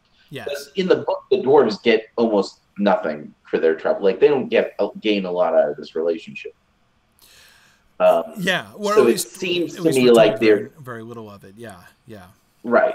It seems to me like one of their aims here is to like they've had dealings with the green elves. The green elves are completely worthless to them. Like they're they're just not worth dealing with the gray elves at least they can work with these guys yes yes um yeah so um yeah and chris stevens was pointing out i think that's right we do have the the most active model that we have, of course, not from the Silmarillion, but from the Hobbit, uh, with the dwarves of Erebor and Dale, right? And, and Dale, how they yeah. just were happy to rely upon the men of Dale to provide them pretty much all of their food. Um, yeah, we can't go that far because obviously they have to have survived to this point, you know, yeah. uh, without them. Um, but nevertheless, to show how they are, they basically can see, hey, look, dude, if we can get these guys to ship us food on the regular, we can spend much more time, you know, smithing than we did before. That's awesome. Right. Um, Which is essentially where we landed for episode six with the Green Elves. Like the kind of the token. Um, the token thing that the green elves are giving the dwarves is food um, the real thing they're giving them is not having the Yemps wreck their stuff and kill them. right. Exactly. But that doesn't work as a as a protagonist. Right. Right. It's bargaining not, chip. It's not a trade good per se. Yeah. Yeah. No. Exactly. Um, um, yeah, now it's interesting in the in the older versions of this of the Silmarillion story, the dwarves were much more explicitly merchants. Indeed, at the very beginning, they were not smiths; they were like they were just merchants, and their smithcraft was inferior um, because all they really cared about was cutting a profit. Um, and we had them being as like the arms dealers to both sides in the war, and so they were profiteering on the whole war with Morgoth uh, from the beginning explicitly. Ferengi. Um, yeah, exactly. Um, yes, the the original dwarves were much more like the Ferengi than they were uh, than they were like uh, uh Tolkien's later dwarves. Um, yeah, Tony points out they're paying the Nandor protection money, basically. Uh, essentially, how that, yeah, yeah, how that goes down. Yeah, yeah. Anyhow, so um, uh, I think it's fine for us to show, and but again, I think the key thing is that we can show the the the sort of disconnection between their societies, right? By how you know Norn is coming to Doriath in order to scope out, you know, and as you say, to groom them as a trade partner, because he sees the potential in building a relationship with these much more reasonable and much less extreme and touchy uh, uh, uh, group of elves out here on this side of the mountains. Um, and so he's um, uh, he's he's scoping things out when he's in Doriath. But the but the the elves don't even realize because they, they, just don't get it. Like they don't understand the whole trade partner thing. They're thinking in terms of like these people could be friends of ours, and you know our partners in our in our uh, task of uh, you know stewarding Middle Earth. Um, and the and the dwarves are thinking, you know, of like trade agreements and stuff, and and that's like very far from the minds of the elves. Um, uh, I'm kind of reminded it's not exactly like this, of course, um, but I'm I'm kind of reminded of the the, the sort of the disconnect in uh, uh, in in the Holy Grail film. You know, when uh, in the Tale of Sir Lancelot, when uh, the guy is saying, uh, "Camelot." Very good pig country, isn't it? And Lancelot's like, is it? You know, uh, you know, the one who is thinking in completely mercantile and and uh, uh, and financial ways, and the other who is seeing the world entirely differently. Um, uh, now, Mike is asking, do they have songs? Mike, you mean the dwarves? Do the dwarves have songs? I think the dwarves should sing as they uh, make stuff. They have work songs. They have shanties. Yeah. Yeah. Well, and I mean, and and songs of power even while they're while they're crafting things. Mm-hmm. I think that can be okay. Um, mm-hmm. But that's when they should. That's when they should sing. Um, and I would think. Now it's interesting because, of course, that's going to be the point of connection in general for the Noldor with the dwarves, right? Um, and that's when the Noldor should get more respect for the dwarves. But um, Eöl will be the one who would have that kind of connection. Um, mm-hmm.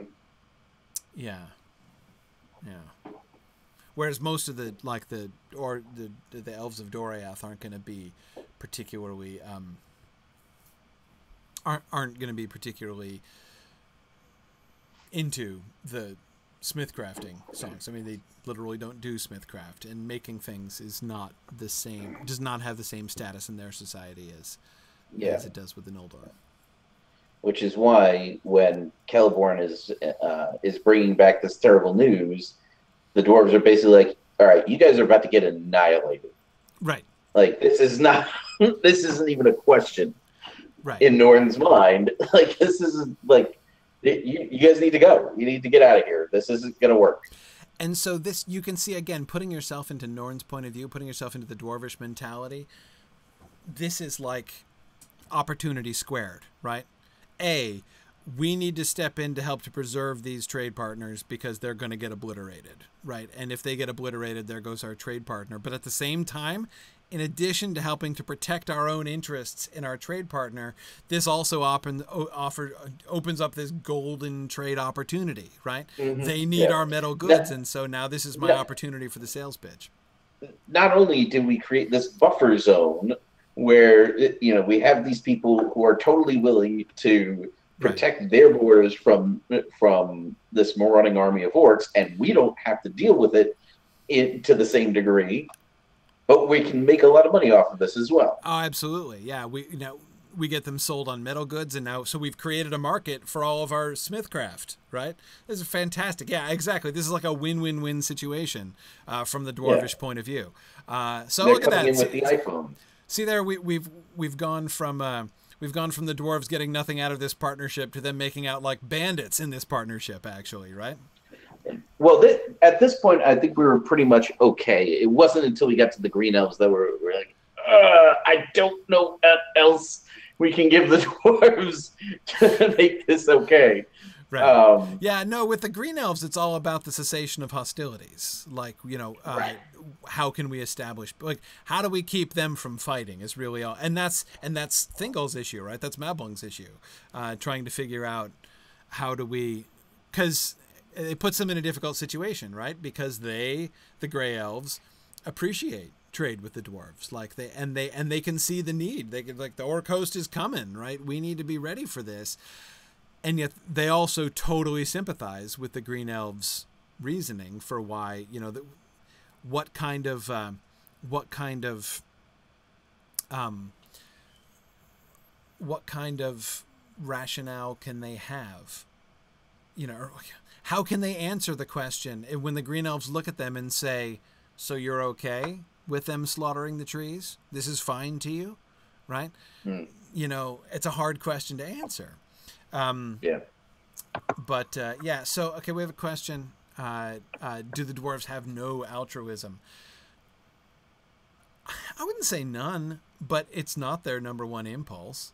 Um, yeah like Norn Norn's altruism comes out at the beginning, where he's where his altru- version of altruism is, "You guys need to leave. Like this isn't going to work."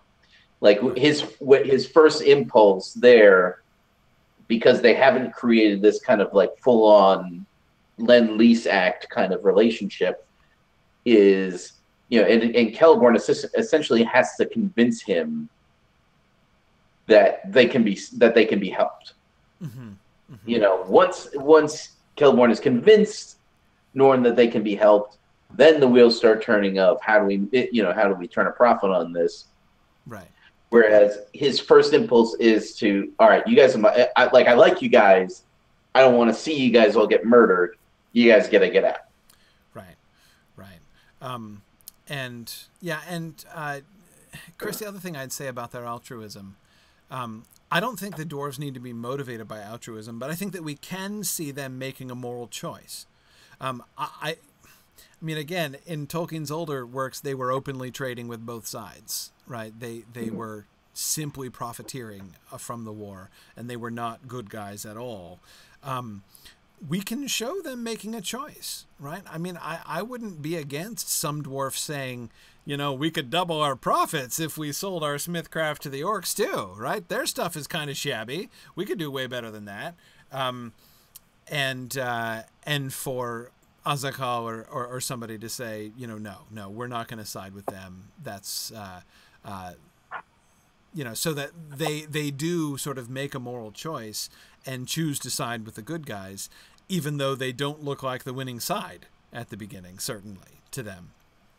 Um, so in that sense, I think um, we can we can see them do. But but yeah, I, I, I don't think as far as their own mo- their own motivations should be absolutely shamelessly um, kind of profit oriented. That's how they think. Um, yeah, now you got me thinking about the Ferengi, Nick. It's it's not exactly as shamelessly profit oriented as the Ferengi. You know, not the way in which we see uh, sort of Ferengi values being, you know, uh, like overtly reversed from uh, from our traditional values. Um, but sort of like that. I mean, they, they don't. To them, there's there's nothing that needs justifying. You know, there's no question of. But is it okay? You know, shouldn't we be giving generously instead of you know just seeking to trade with them? That's just not how they think. I don't think there's any harm in introducing the pragmatism of the dwarves. Yes. Because that doesn't necessarily come across as um, dishonest or self-seeking the way the Ferengi are. Right. Um, right. So simply having them interested in, well, what do we get out of this? If that's all they ever said, yeah, it would look a little yeah. cheap. But yeah. it's not. It's just it's a motivation for them. It's not the only motivation. Norn has at least established an actual friendship with the elves he's interacting with and is sincerely concerned for their well-being. Yes. And Telchar when she shows up is the same way of trying to give them the best chances in the you know so it's it, I don't think we're portraying them as uh mercenary in this right. situation. Right, right. As as they're not just using the elves, they're genuinely forming an alliance with the elves for you know and they're doing it for pragmatic reasons. Um, but uh, but yeah, no, I agree that you know this is not a um, this is not an exploitation begins in the home kind of moral culture. Uh, yes, yes. Um, one of the rules of acquisition, of course. But that's my favorite rule of acquisition, actually. Um, uh, from the Ferengi. Uh, another question about this episode. Eol. Do we want to introduce right. Eol anywhere through here? Um, Well, we we have him in episode four um, because we need to have the dwarves' perspective on meeting with the elves. Mm-hmm. So we needed to have an elf on screen that, that got talked to about that, and right. so we had Telchar and Eöl discuss whether or not the king of Nogrod would meet with Thingol, and the answer was no way. Right. Okay. Okay. Um, okay. So.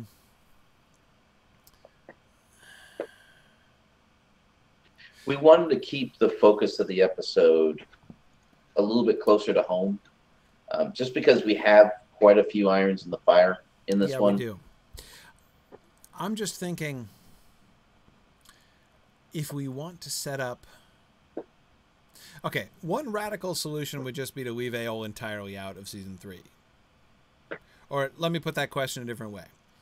What are the reasons to keep Eol in season three? If we're not doing Nan Elmoth until season four could we wait to introduce his character at all until season four? Now the idea of having him be involved in the early days with the dwarves is the reason to have him, right? Yes. To show that he is of all of the elves the one who has uh, is working most closely with the dwarves, has has most uh, adopted this sort of friendship and, and, and working together with the dwarves. Um, but we could we could convey that uh, uh, that superlative without having him be first. Right. He could be the greatest friend of the dwarves without being the first friend of the dwarves necessarily. Well, that's kind of the, you know, what I was saying uh, earlier about having an Eöl focus episode sometime in season four. Yeah. Uh, where we kind of flash back through his relationship with the dwarves and we do all that. Like that can be done. Um, yeah, I mean, because my fear is that because originally, as I recall, when we were first talking about the Eöl and the introduction of the dwarves, we were thinking of using him as the primary go-between, right? Like he was going to be the one who was going to be brokering the relationship between the Gray Elves. Uh, not that we were envisioning him in exactly the role that that Mablung is playing here, but so Mablung's doing it differently, but Mablung is basically filling the role that we were that we kind of had in mind for Eöl. Um, right. The problem with Eöl is he's such a loner and yeah. a misanthrope that it seemed odd to cast him in a role of bridging the gap between cultures. No, exactly. Right. Eöl's like the crappiest diplomat ever, right? I mean, yeah. Not to mention, if he had been brokering that deal, you kind of get the feeling that it would have swung towards the dwarves a lot more heavily than it does. Yeah, yeah, because he doesn't even share the same viewpoint that most of the elves do. So he he's he's yeah no he's a bad spokesperson in lots of ways. I agree with that. Um, but my point is, do we need him at all? Do we need him at all? All right, if he's not going to play that role, do we need him at all? And the only scene that I'm nervous about in about doing in flashback is the the scene between him and Telchar, where Telchar doesn't approve of the of the Black Sword um, in the battle between the the dwarves and the orcs. Now, could you do that scene as just Eöl showing off his latest his latest work to Telchar and Telchar expresses her disapproval? Yeah, you could. It doesn't. It, it doesn't. Um, you're not showing why it's a problem in yeah. the same way as you do if you actually see Eöl in battle and there's some like questionable things that he does. Right. Um, but at the same time, it's actually almost cooler if Telchar, the great smith, can just hold the sword and feel it, right? Just be like this, this, this sword is mess like, a, like you know, a for efficacy, you know, like this is a really powerful sword, um, but this is seriously sketchy. Uh, yeah.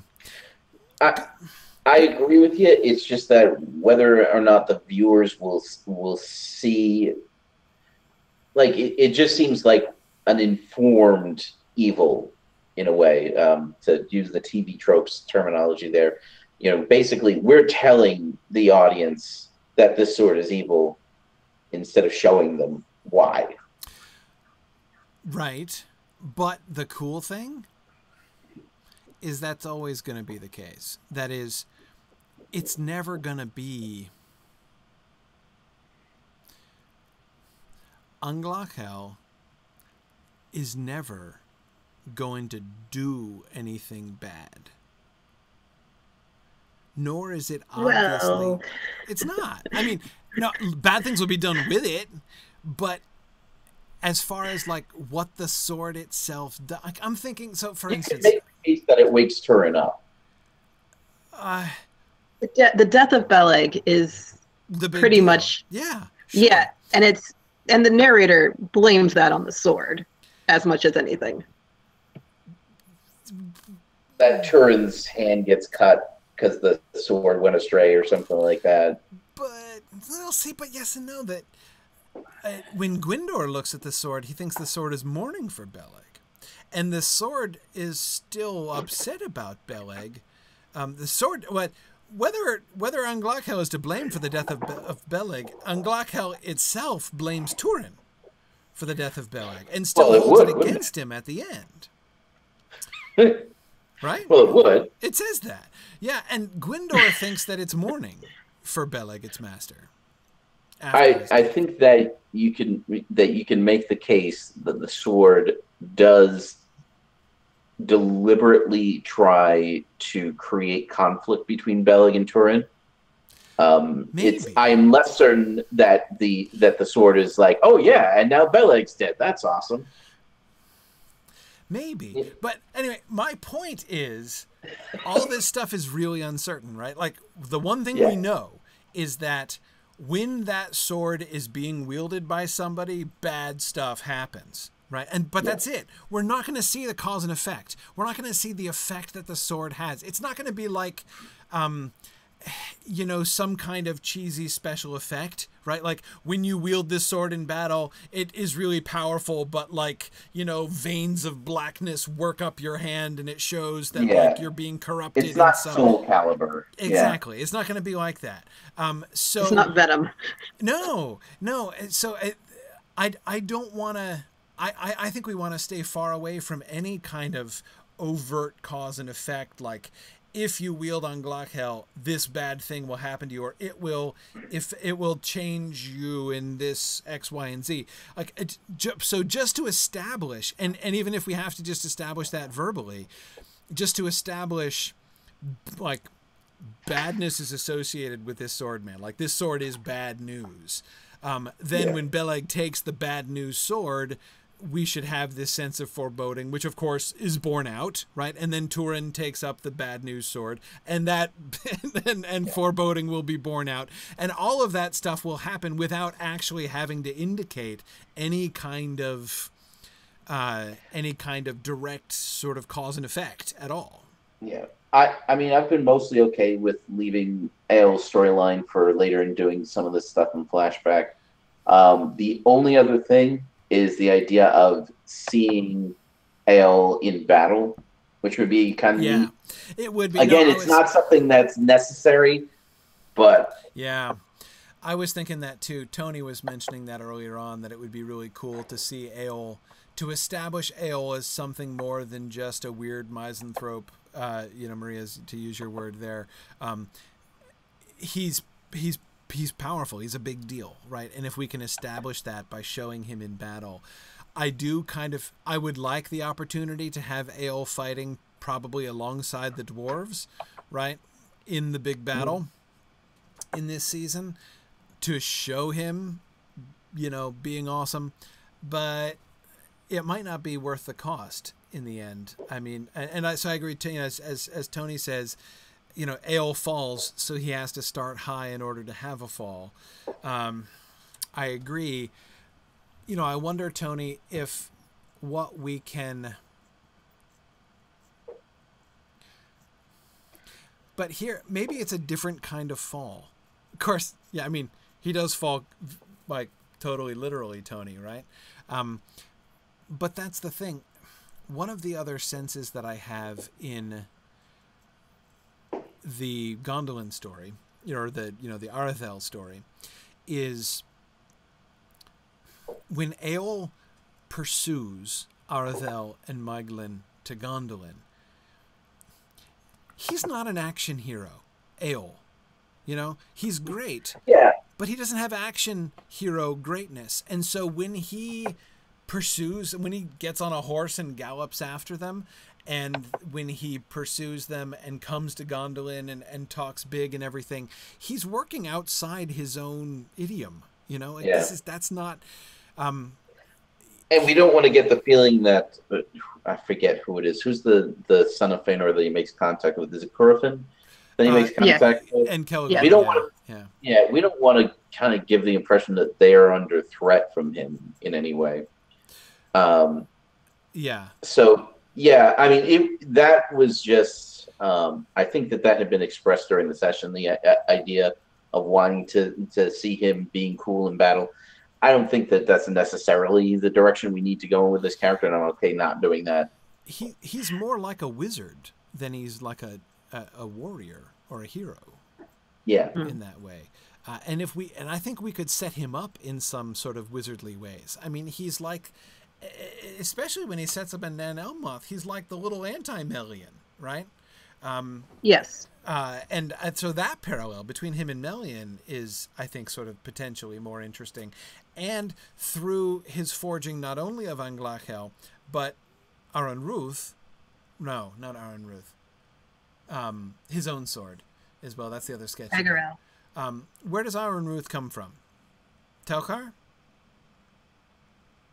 I don't remember. We don't know that. We don't know that. Could he forge Aranruth? That is what I'm, uh. what I'm wanting. What I'm wanting is for to establish him as the greatest of the non-Noldor craftsmen. He is he is the he is the Teleri Feanor as far as hmm. craftsmanship is concerned. So that that's the, the, basically that's the pinnacle I want to make him fall from if he's going to fall. Um, and so that's why I'm thinking of Aranruth. Uh, and I, if I'm correctly interpreting your grunt there, Marie, you're you're not liking that because you don't want the sword of Thingol to be touched by to be you know bearing the spirit of Eol. Um, right. Well, the whole idea of Beleg choosing the wrong sword, it seems odd that Thingol would have already, have, chosen, already chosen, the wrong yeah, sword. Exactly, yeah. Exactly. Well, but so here's my thought. What if Aranruth is one of his? Because see, I, the making of Anglachel, and I and this is where I especially like the idea of his his break with Telchar, right? Um, mm-hmm. If the forging of Aranruth, that's the beginning of his fall, right? Um, so what if in his early works he just he's a really excellent smith and he's making really great stuff, and it's not sketchy, right? It's it's um, where, but it's it's his desire to go past that, right? So Aranruth is like one of the examples of his early work, like his excellent early work. But he wants to go past that. He wants more, right? And but why why would he give that sword to Thingol? He already feels super grudging about having given Anglachel to him to buy Nan Elmoth. Ah, shoot, you're right. So I just, yeah. I, I just feel like Thingol's sword should Unless have a origin story. I, I tend to agree with that, but the, um, no, the only way to do it is if it happens first. I really like it. Yeah, exactly. I really like and, it. And Thingol really needs a sword this season because of the battle he's going to be in. Yeah, and if we're going to push Eol off to next season, we need to get him a sword. Yeah, that's true. Telchar should present him with the sword. Yeah. Yeah, okay. Fine. You're right. You're right. He has to get it. He has to get it sooner, and Eol wouldn't. I hate it when Marie's right. Well, which, which is, is, like all the always. time, right? You, you must live a really frustrating life then, Nick. we, we, we, talk quite a lot, so you know this happens quite often. Exactly. Usually, if I find if I find Marie going, um, I'm like, okay, well, that I yeah. not going to happen. You're going to become an embittered old man pretty quickly if uh, if Marie being right is is a problem. Uh, I'm usually very easygoing and accepting of people's ideas unless they don't work. I get it. No, it's not your fault that you're always right, Marie. So, okay, uh, no, no, that's good. You're right. Um, so. Fine. Okay. Yeah. No. Yeah. So okay. So Telchar can do Aranruth. We don't have to do that. We can. Anyways, my my thought about the shape of Eol's career still works. We'll just leave mm-hmm. Ruth out of it. Um, yeah. But again, the, the point certainly was... he can start he can start good and then get creepier and darker. The the exactly. other issue there is if we wait until season four for this, he's gonna have to get creepy and dark pretty fast.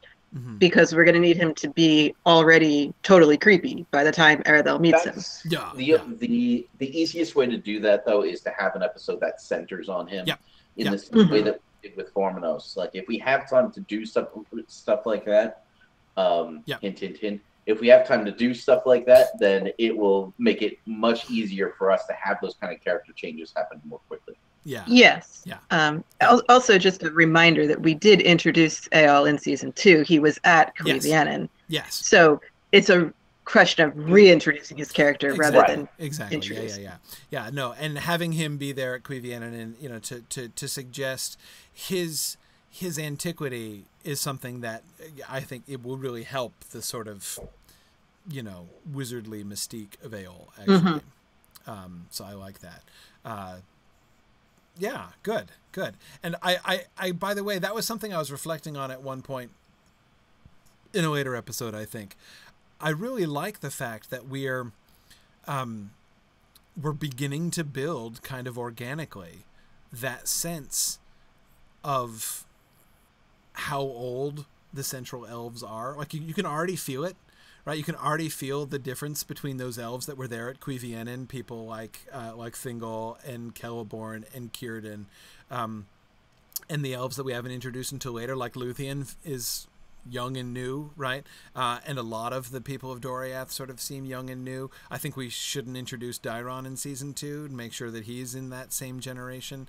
Um, and uh, we had Beleg yeah. and Mablung I knew, but they were I know, but they were still very minor characters, and we didn't introduce yeah. them until the search in you know the search for Thingol, right? I don't think we showed them at right. Yes. Um, right. Yeah. So and and just think, I, I'm just kind of thinking about how awesome this is going to be. You know, like ten seasons down the road, like we, you know, many of them will die, but we'll still, you know, so Círdan the shipwright is gonna is going to seem appropriately ancient by the time we get to yeah. the Lord of the Rings, right? It's really going to have that effect.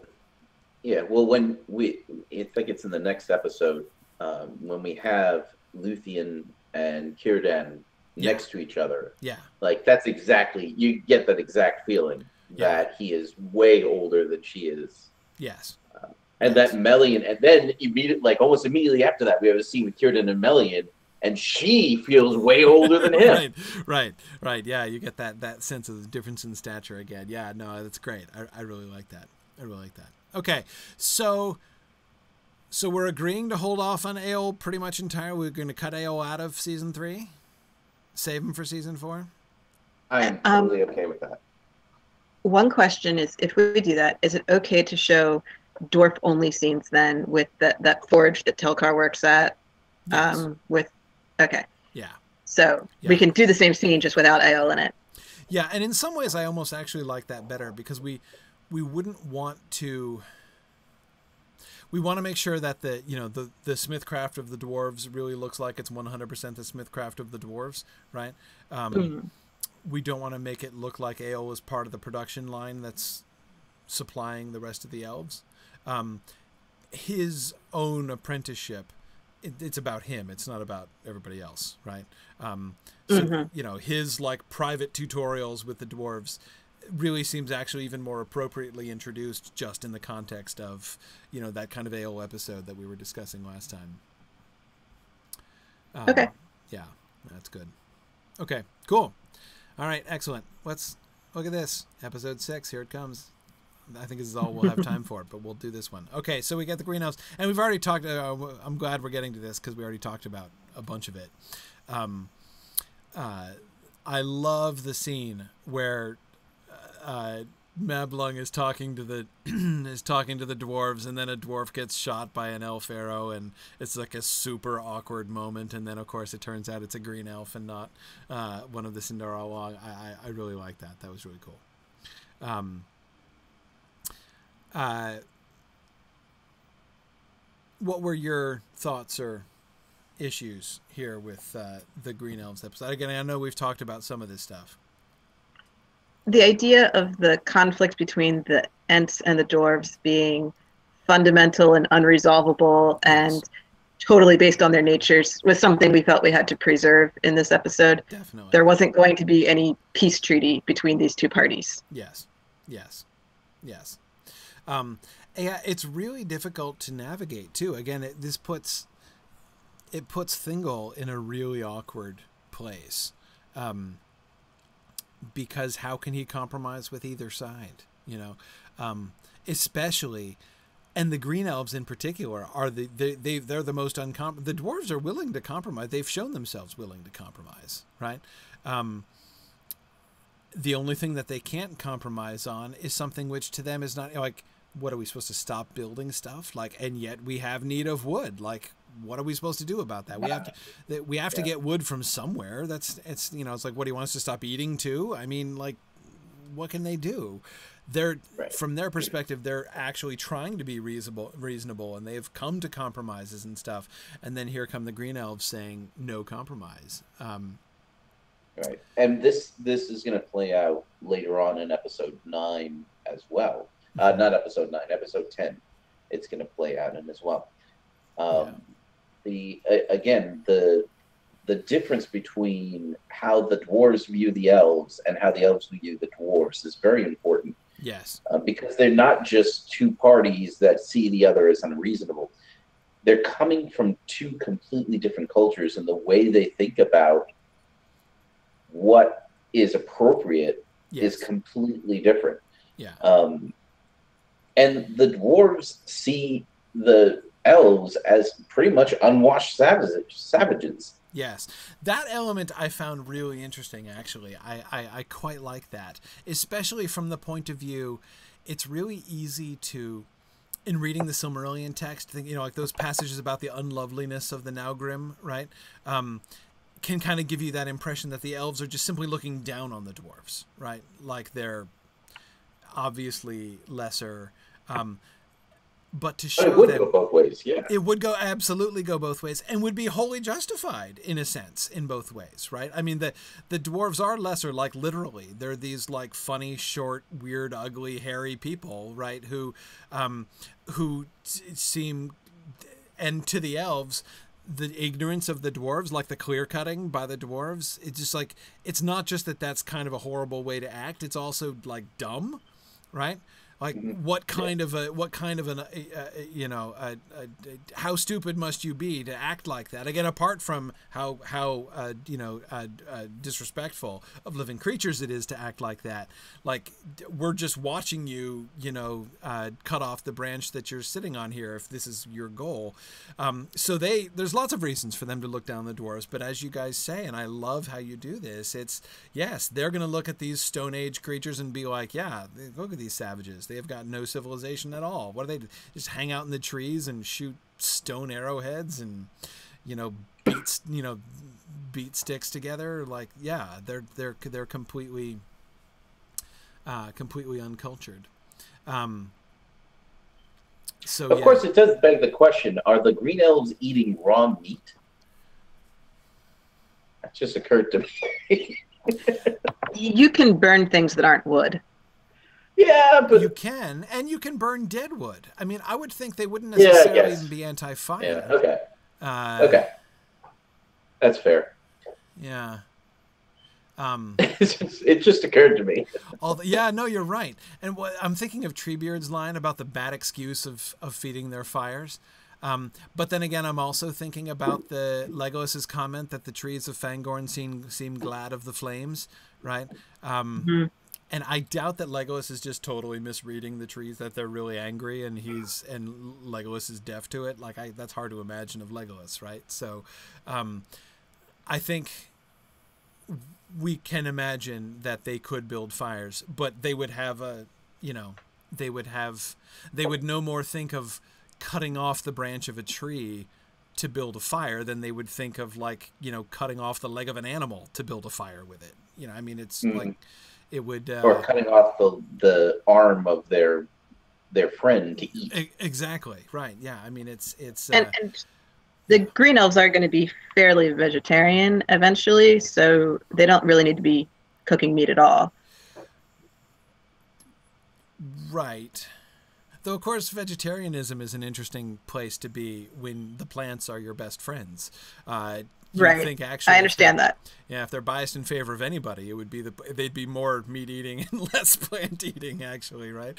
Um, but um, uh, yeah, it would be difficult. No, yeah, uh, Katriana on the Twitch chat is pointing out that, uh, of course, like if you're not using living wood, how do you make bows? Hmm. That's actually a very difficult question to answer. Uh, mm. uh, um, horn. They could make them out of horn. Horn. They could make them out of horn. Mm-hmm.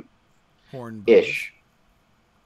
I mean, I, I realize there's some there's horn elements to composite both. Anyway, we we I think that we're going to get severely bogged down if we get too deep into yeah. the uh, the makings of those. and it's funny. Three uh, uh, Marielle and Mike both at the same time said elf magic. they just sort of waved yeah, their yeah, hands yeah. towards elf magic. Yeah. Or the or the tr- or the Ents are able to like. Okay, you need a boat. All right, cool. Like, so they just make this branch right, grow gift for them wood. Yeah, purpose. no, I was thinking that uh, that's that's the direction I was thinking of too. Um, yeah, yeah. But it does seem rather hypocritical, doesn't it? It's tough. It's tough. I mean, again, you. Uh, it, there's an Infinity War spoiler that explains this, but I can't say it because it's an Infinity War spoiler. I, I, I haven't seen Infinity Wars yet, so don't. Uh, don't worry. No spoilers. Um, but uh, yeah, yeah. No, I. Um, yeah, it would be interesting. It would be interesting. I actually think um, I could easily imagine a green elf culture that that actually eats a higher proportion of meat than normal because mm-hmm. they are more comfortable killing animals than they are in even domesticating plants. Um, you know, they could be like fruitarian. You know, they could just eat the fruits that you know, fall off the trees, uh, conceivably. But it's hard to do that year round. It really is. Yeah. Well, there's no seasons yet, so it's not a problem yet. true, true. Be. Not a problem yet. Yeah. Yeah, let's not even get into the fruit and seeds issue that we that we would have there with that. Yeah, yeah, you're right. Um, but anyway, but the point is that they'll have a very unique culture that is very centered on their unique viewpoint, whatever physical manifestation that has. Yeah, yeah, yes, yeah, exactly. Um, We're going to have to hire an anthropologist to figure this out. So yeah, well. exactly, exactly. There there will be time to work out some of these details later on. Um, I like, by the way, the fact that um, the fact that you guys had the Ents just basically putting themselves in timeout. basically, they're like, "Well, I'll tell you where that came from. when this episode was created, we hadn't done episode nine yet, and we were thinking, all right, so the Ents are not at the first battle. So how do we get them out of the way so they're not in the first battle? And so we created this situation. Then you told us the Ents were, were going to be at the first battle, but we didn't change this because it still gave gave us more reason for them well, to not because we want the Ents to time. To ha- to make a eucatastrophic entry into the last battle. We don't we don't want right. them to. They, they arrive yeah. late. Yeah, we, we we couldn't possibly have only one eucatastrophic entry in one battle. Right. Well, the thing is, is that if the Ents are going to be involved, it's either going to be eucatastrophic or it's going to squelch the entire thing. But there's no way that an army of like the army of orcs who's never encountered them before. I mean, if the Ents are all there, no, how is Denethor going to yeah. die? I mean, like, yeah. you know, yeah. that's just not. Real. No, we agree with that. Um, but yes, yeah, so we needed to get them off screen, and we didn't think that they would um, listen to anybody else, so it had to kind of be on them to do it. Yeah. Mm-hmm. Yep. Yep. Um, so no, I, I I do like that. Um, it does seem to me to fit with the fact like basically that Treebeard's response when because Treebeard is on the, on the one hand Treebeard is an extremist right in his view of the trees um, and he is unwilling to compromise because of course to Treebeard and therefore to his green elf friends, the the cutting down of a tree is simply murder. You know, so like yeah. it's like I don't care what you're doing with the corpses afterwards and how useful that is to you. The murdering is not okay. Um, but at the same time, Treebeard is wise, right? Yeah, and, and he's kind of aware of the fact that he's a bit of an extremist too. Yes, yes, and that this and it's a problem, right? He's got. I mean, he has to be able to be smart enough to look at this whole three-way situation with the green elves, the gray elves, and the dwarves, and to realize, you know what, um, we're a problem here. you know, like this. You know, he can't change who he is. He can't be like, I'm fine with you. But at the same time, he can look at Thingol and the other elves and see that they're what they're trying to do, and and to perceive that you know the elves are going to i mean he might be saddened by it in a sense because maybe he envisioned a world in which the elves would be altogether on his side right and hmm. now he is seeing like it's not gonna it's not gonna work out that way right nobody apart yeah. from the ents nobody is ever gonna be able to be all together on the side uh, of the like it's not the way even the green elves I don't know. I, I don't know if we can exactly convey this on screen, but he should even have the sense that like even the green elves shouldn't be all together on the side of the trees. Like Right. It's kind of unnatural in a way. Yeah. Yeah, they need to be looking at the bigger picture um, in order to defend Middle Earth, in order to, uh, you know, to, to serve the purpose that Iluvatar made them for. They can't just be tree bigots you know pro tree bigots all the time.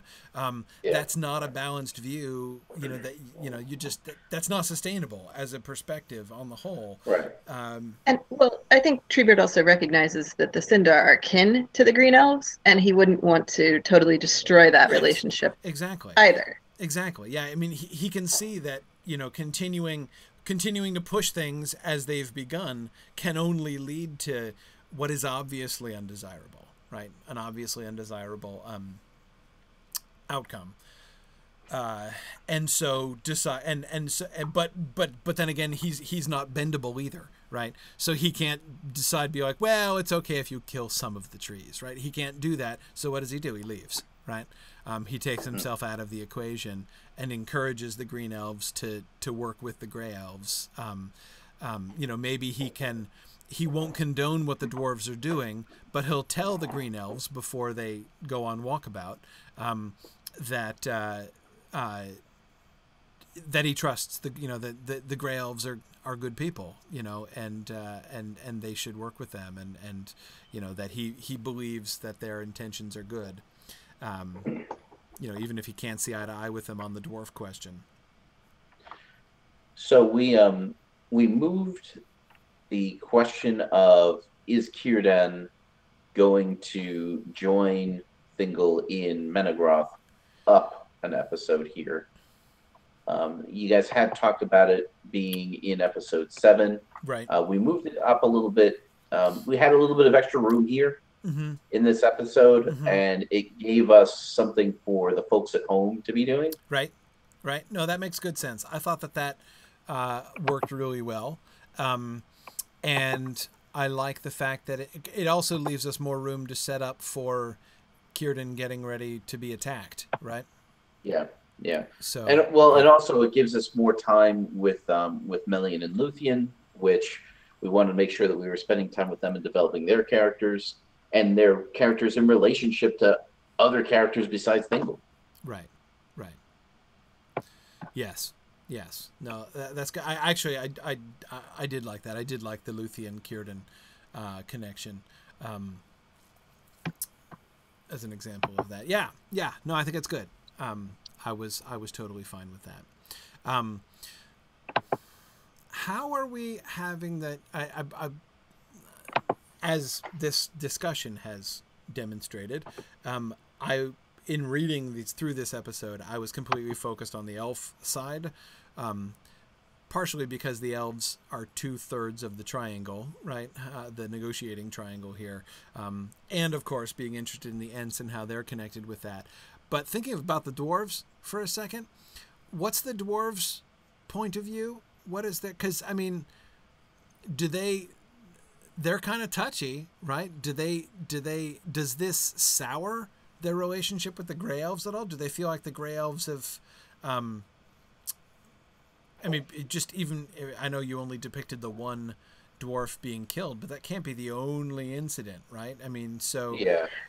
Yeah. Well, we did have the Ents attack the forge and destroy the entire forge, so right. that yes, killed. I forgot about that. Yeah, so there's that. That there killed Gamelbrog, which is Telchar's master. Yes. Oh, see, I, I forgot about that. Yes, right. So we right. kind of.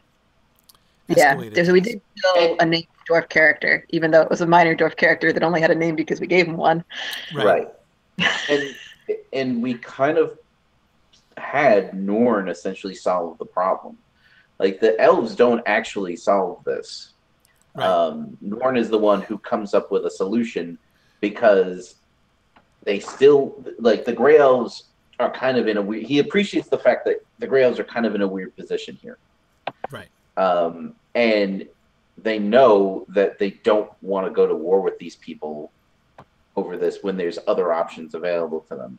Yeah. Um, so what we do is we show that the dwarves are kind of they're kind of double dealing with the elves a little bit here uh, because they realize that there there's this point that they can't use honest negotiation to to solve this problem. So we do show that they're willing to to use subterfuge with their trading partners even um, to to get what they want. So right. basically, this this event puts them in a position where we, the audience, know that we can't trust everything that the dwarves say to the elves. It also create they're going to be resentful, right? Yeah. I mean, mm-hmm. yeah. There's there's there's no two ways about that. They're going to hold a grudge against the green elves, and they have to express that in some way, such that the suspicions that they delayed their arrival at the battle on purpose because they wanted the orcs to destroy the green elves. Um, that needs to be plausible, right? Mm-hmm. Um, and I think that I mean this sets it up really, really well. You know, to have the dwarves come and be like, "Oh, we are so sorry that we didn't arrive in time to prevent the orcs from slaughtering the great percentage of these people that we hold a personal grudge against." Like that looks really fishy. Um, yeah. And again, here's some stuff to pr- to pay for that loss. Yeah, which means nothing to the green elves, right? You know, and like yeah. stuff that they don't even value. Yeah, yeah. Um, uh, sorry, I'm pausing for a second because I'm realizing, and yet Saeros becomes a fop. He gets overly civilized. Yeah, I think is how that goes. Like yeah. he gets to Menegroth and he's like, "Wow, this is cushy. Right. I like yeah, this. Exactly. This is cool." Yeah. You know, like it's like um so my my wife and I went to uh, Disney World in the fall of 2016. Mm-hmm. And I've never really gone on vacations. I'm not a vacationing kind of person. It's always to me seemed like a, a bit of a waste. Right, right. But I'll tell you, coming back from that was so incredibly difficult because, like, oh yeah, I have to work now, which I've done right. my entire life. right, right, right. Yep, yeah. When you're unused to that, uh, to, to, it's it's easy to have it kind of sweep you away. I agree yeah. uh, in kind of depicting Saeros that way. Um, yeah, I'm just thinking about like the weregild from the dwarves and how yeah. that could because Saeros becomes our representative green elf after after this. Yeah, yeah. Well, w- what we can show is kind of almost this like corrupting influence. Yes. Of the affluence of Menegroth. Yes. Yes. On him. Exactly. Exactly what I was thinking about. Um, but I, and I'm wondering if maybe even we see him kind of keeping most of the weregild that the dwarves gave him, so he becomes he becomes a wealthy person because of the weregild of the dwarves. Um, most he might even, yeah, he might even personally keep all react like well react almost like he's going to uh, okay this, and then somebody else like a, another of his people is like we can you know and like there's an immediate uproar and he realizes that he's the only one who was totally okay with that for right. a second right right. and doesn't say anything about it. Right. Yeah. Yeah. Uh, yeah. It could be one of the interesting sort of differences we can establish in him. Uh, you know, that sort of moral questionable. We do that in episode nine as well. Too, yeah. Yeah. I remember we did. We were talking about some of that the armor. Yep. Yeah. Anyway. Exactly. Cool. Cool. Good stuff. All right. Very good. Well, I was thinking of trying to squeeze in episode seven, but you know what? I don't think I'm going to go there. Uh, we've we've gone we've done four episodes. That was pretty good. Uh, I think I'm I'm going to be pushing my luck if I go too much further than that. Um, that any, gives us a two episode buffer. exactly. Exactly. Any um, any uh, f- sort of final thoughts or reflections on any of the the either any of the particular episodes we've been talking about or any uh, of the larger issues that our discussion today has raised? Well, um, I did want to. Go ahead. Sorry, go, go ahead, Nick first. No, you can you can go. It's fine. I was just going to um, bring up the frame, and um, I know you said you were okay with it in episode three, where it kind of took on its own story. Yeah. But just like double check um, with episodes four, five, and six, the uh, rivalry between Hamilcar. Estel and Hamilcar yeah. is that playing out acceptably, or did you have any commentary on that? Yeah. Um, okay. I just want to make sure. So let's let's think about this for a second. Um, let me let me get which which episode do I have back here? This is episode uh, four. Okay. Um, so this episode four is the arrival, right? Mm-hmm. Uh, and his first meeting with Hamilcar, and then Hamilcar kind of disses him at the end, right? Right. Mm-hmm. Um, and then he gets sort of re- rebuked by Elrohir, right? And mm-hmm. realizes, mm-hmm. and so Estel is shown that his own perspective was kind of shallow and self-centered, right? Mm-hmm. Okay, and then episode five. So episode five. Uh,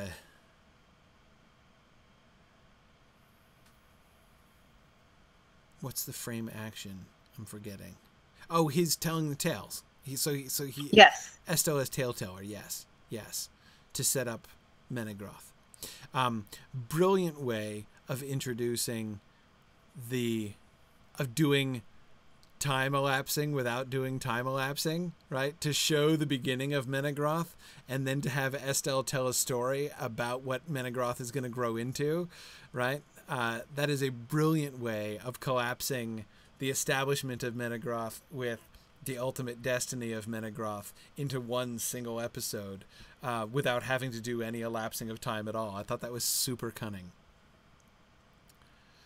we were aiming for super cunning. Yeah. That was the exact appellation that we were hoping for. that, was, that was very good. That was very good. Um, the I'm a little bit less clear about the motive. Like so, Hamilcar. What's Hamilcar's deal exactly with Estel here? He he is spoiled upset. boy. Yeah, yeah. He he doesn't like Estel, and doesn't like that the older people in the village are all showing all this deference and respect to this kid who just showed up. Right. When he has no like he, there's no context for him. There's no reason for him to to be like, "Oh, I get it. He's supposed to be the king one day." And maybe they are over overly deferential to him. Mm-hmm. Um, mm-hmm. You know, like even even knowing the the situation, they're probably overly deferential to him. Um, so that just makes it worse. Okay. Yeah, I mean, I would think that Hamilcar's thing would just be like, who is this kid? Like, who mm-hmm. is this soft, pampered kid who has not earned any respect at all? Actually, right. Um, right, and and that's essentially how we're building some sort of sympathy for Hamilcar when he's when he dies, is because he just didn't understand that it's not Estel's fault. Estel doesn't even know, like right. you know, and if Estel dies, it actually is a big deal. Right, right, yeah.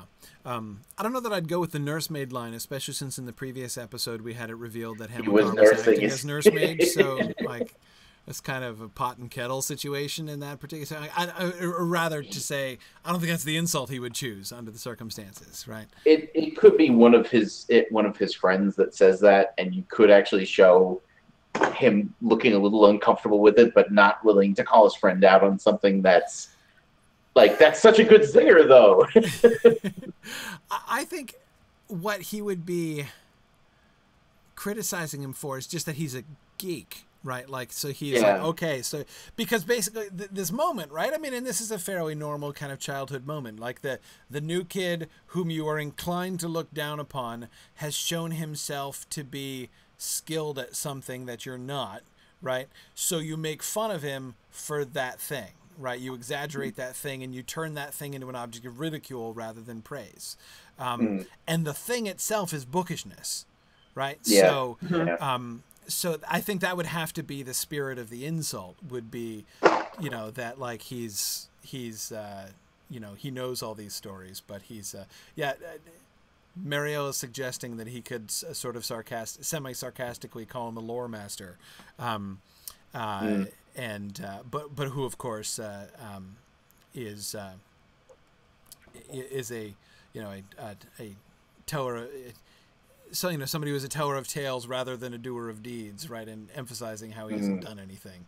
Um, but uh, okay. He's, he's, not a man of action, but a man of letters. Exactly, as right. Zora would say. Yeah, yeah, but uh, but you know, make make that sound, you know, um, wussy. Like an insult. Yeah, exactly. exactly. it, it, it would probably never have occurred to me to insult someone by calling them a geek. So that's actually a good idea. exactly.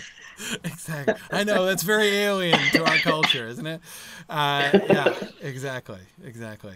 Um, uh, okay, so then in the in episode six we had the the, uh, the setting up of the dwarves. I like the dwarf the or the dwarves the the dwarves the wolves the wolf parallel. I like the wolves mm-hmm. um, in the frame uh, and with the with the wolf attack. Um, now,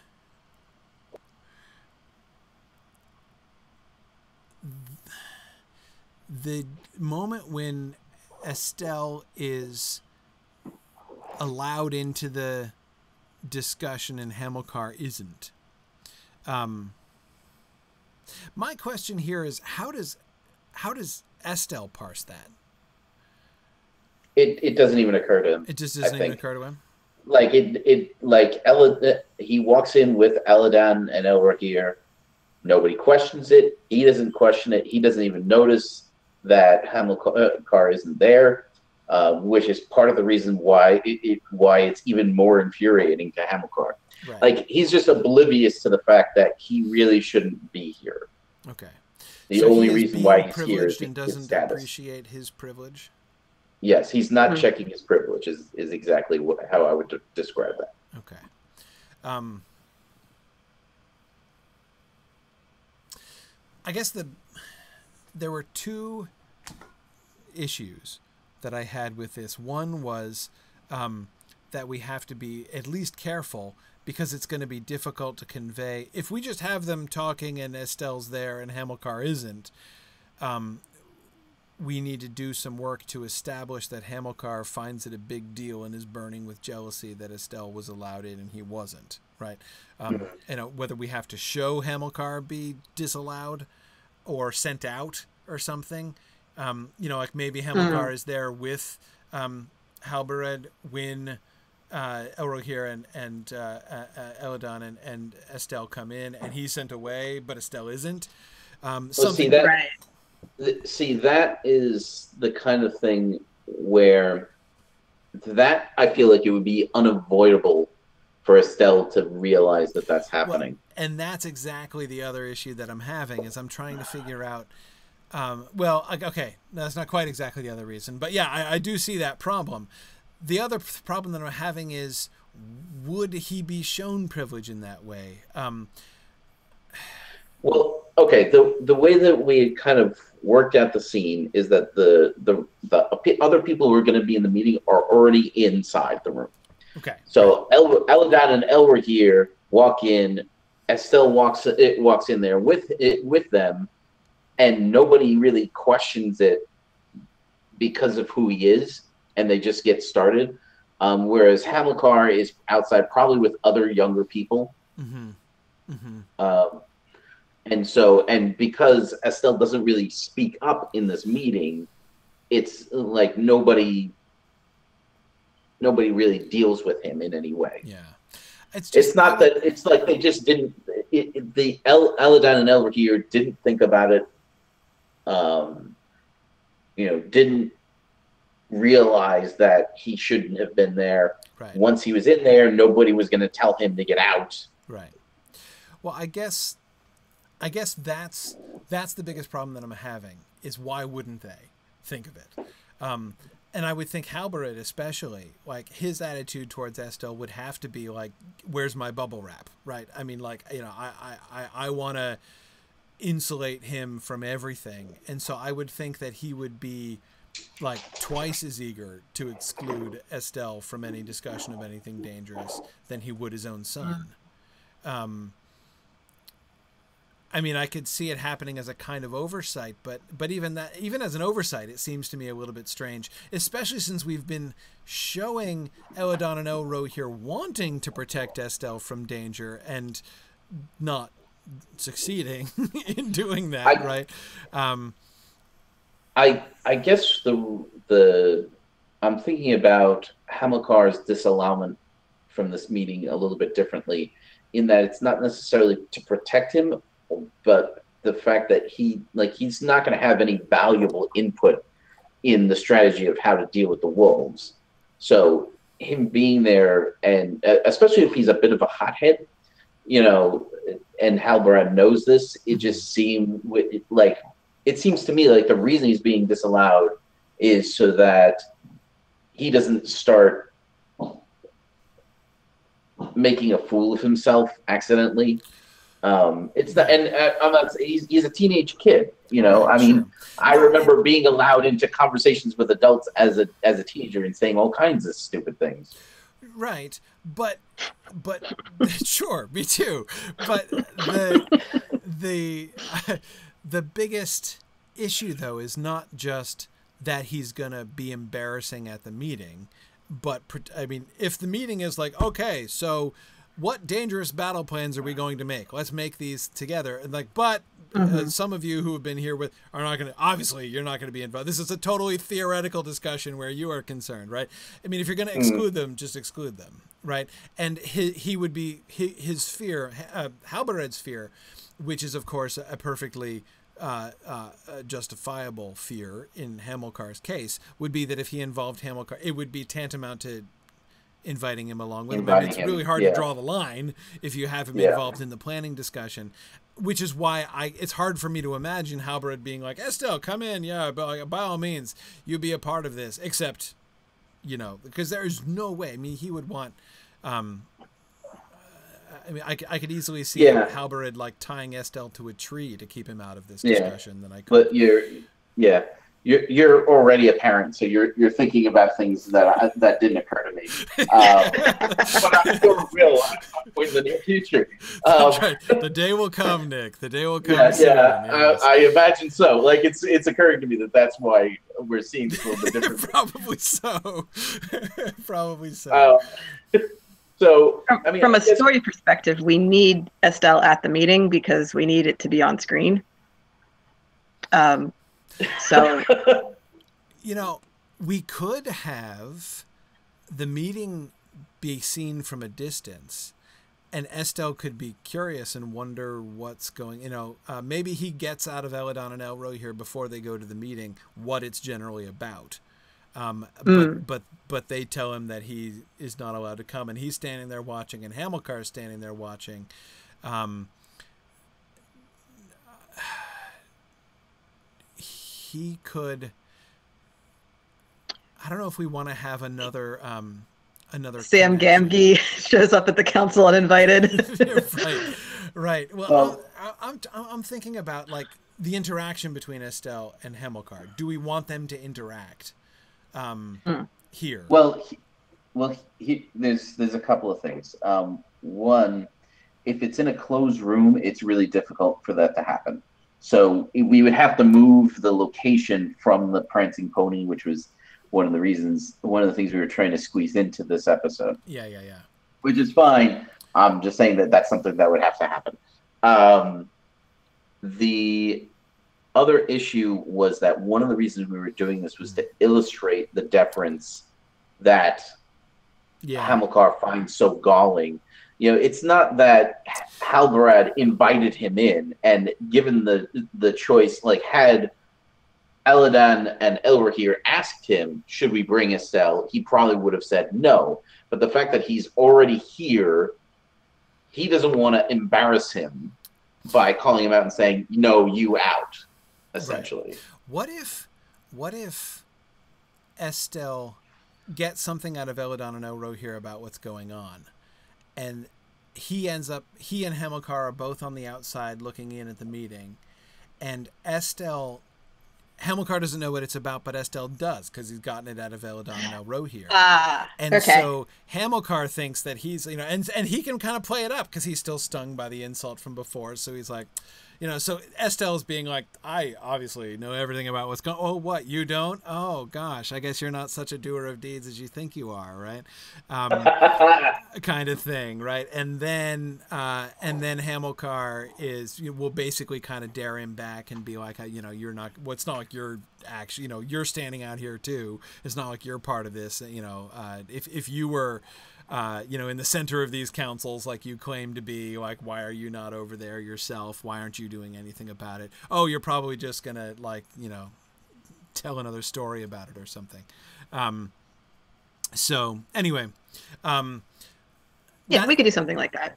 That could work. That that would seem to me to be. I mean, I, I I get the privilege thing, but I think it would be we could do it with a perceived privilege as well as an as in some ways would make more sense to me because again I got to think the number one reality of Halbarad's life has got to be preserving Estel's life. I mean, especially since he's the only one who knows, right? Uh, so it is therefore incumbent upon him more even than it is on, on on others in his you know in his group.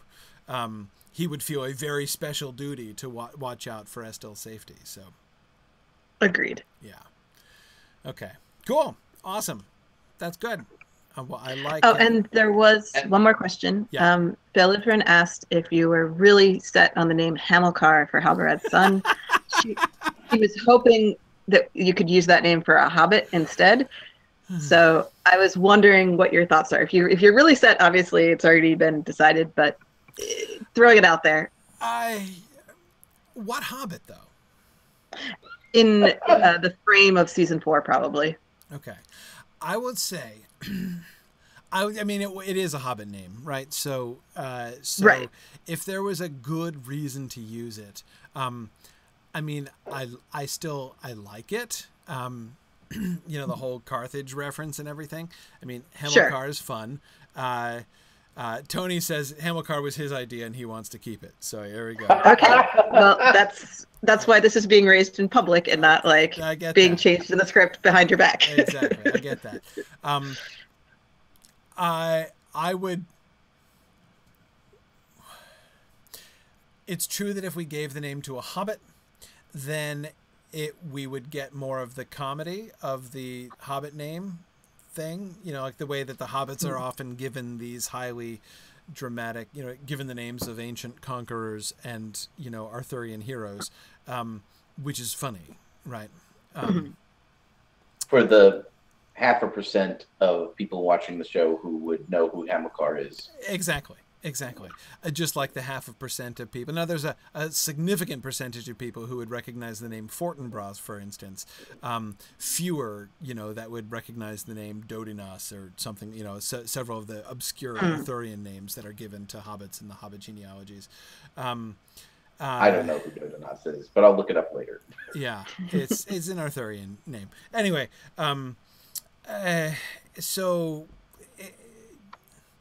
Am I absolutely wedded to it? No, I kind of like it. Now I agree, Marielle. If we, you know, if we have it as a Hobbit and he gets the nickname Hammy, uh, you know, okay, like we can call him Ham. Um, I would just, I wouldn't want. Hamilcar is such a great name. Uh, mm-hmm. I wouldn't want to throw it away. Is all. I don't want it to be used for like a Hobbit extra who gets nothing. I see. Right? So I see. It's it's it's a name I th- does that deserves the spotlight. And so I think this is a fine place for it. It seems to it kind of fits with Halbarad. Hamilcar, son of Halbarad, seems it works. Um, mm-hmm. uh, but if we can make better comic use of it at another time, that's okay. I would just insist upon it being uh, receiving its full comedic value. Okay, so we will we could revisit it later if we wanted to, but for now we're sticking with Hamilcar as the name of Halbarad's son. Yeah, yeah, yeah. Let, us do that. Okay. We can go back and retroactively change Halbarad's son's name when the if. time comes that we want to use the word the name Hamilcar for for a current character. Yeah. Okay. Yeah. And, if, and now that we've got into your uh, your Twitch time, exactly right. Yeah. So it is slightly past time for me to go. So uh, thanks everybody. Thank you so much uh, for your work on this. Uh, not only, of course, during this week, but uh, in the months previous uh, here, Marie and Nick, and to everyone else uh, who has been has been participating in those discussions. Thank you guys for being with me today, uh, and for everyone else who was able to join us. And I look forward to uh, doing the second half of the season, not the whole second half of the season, but I figure we got, I figure we can do the rest of the season in two more episodes because although yes. the episodes get weighty, they also get more recent. So, uh, you know, there's less to kind of review and rethink in some ways. Um, but anyway, thanks everybody for joining us. And I will say, as always, thanks for listening and Godspeed.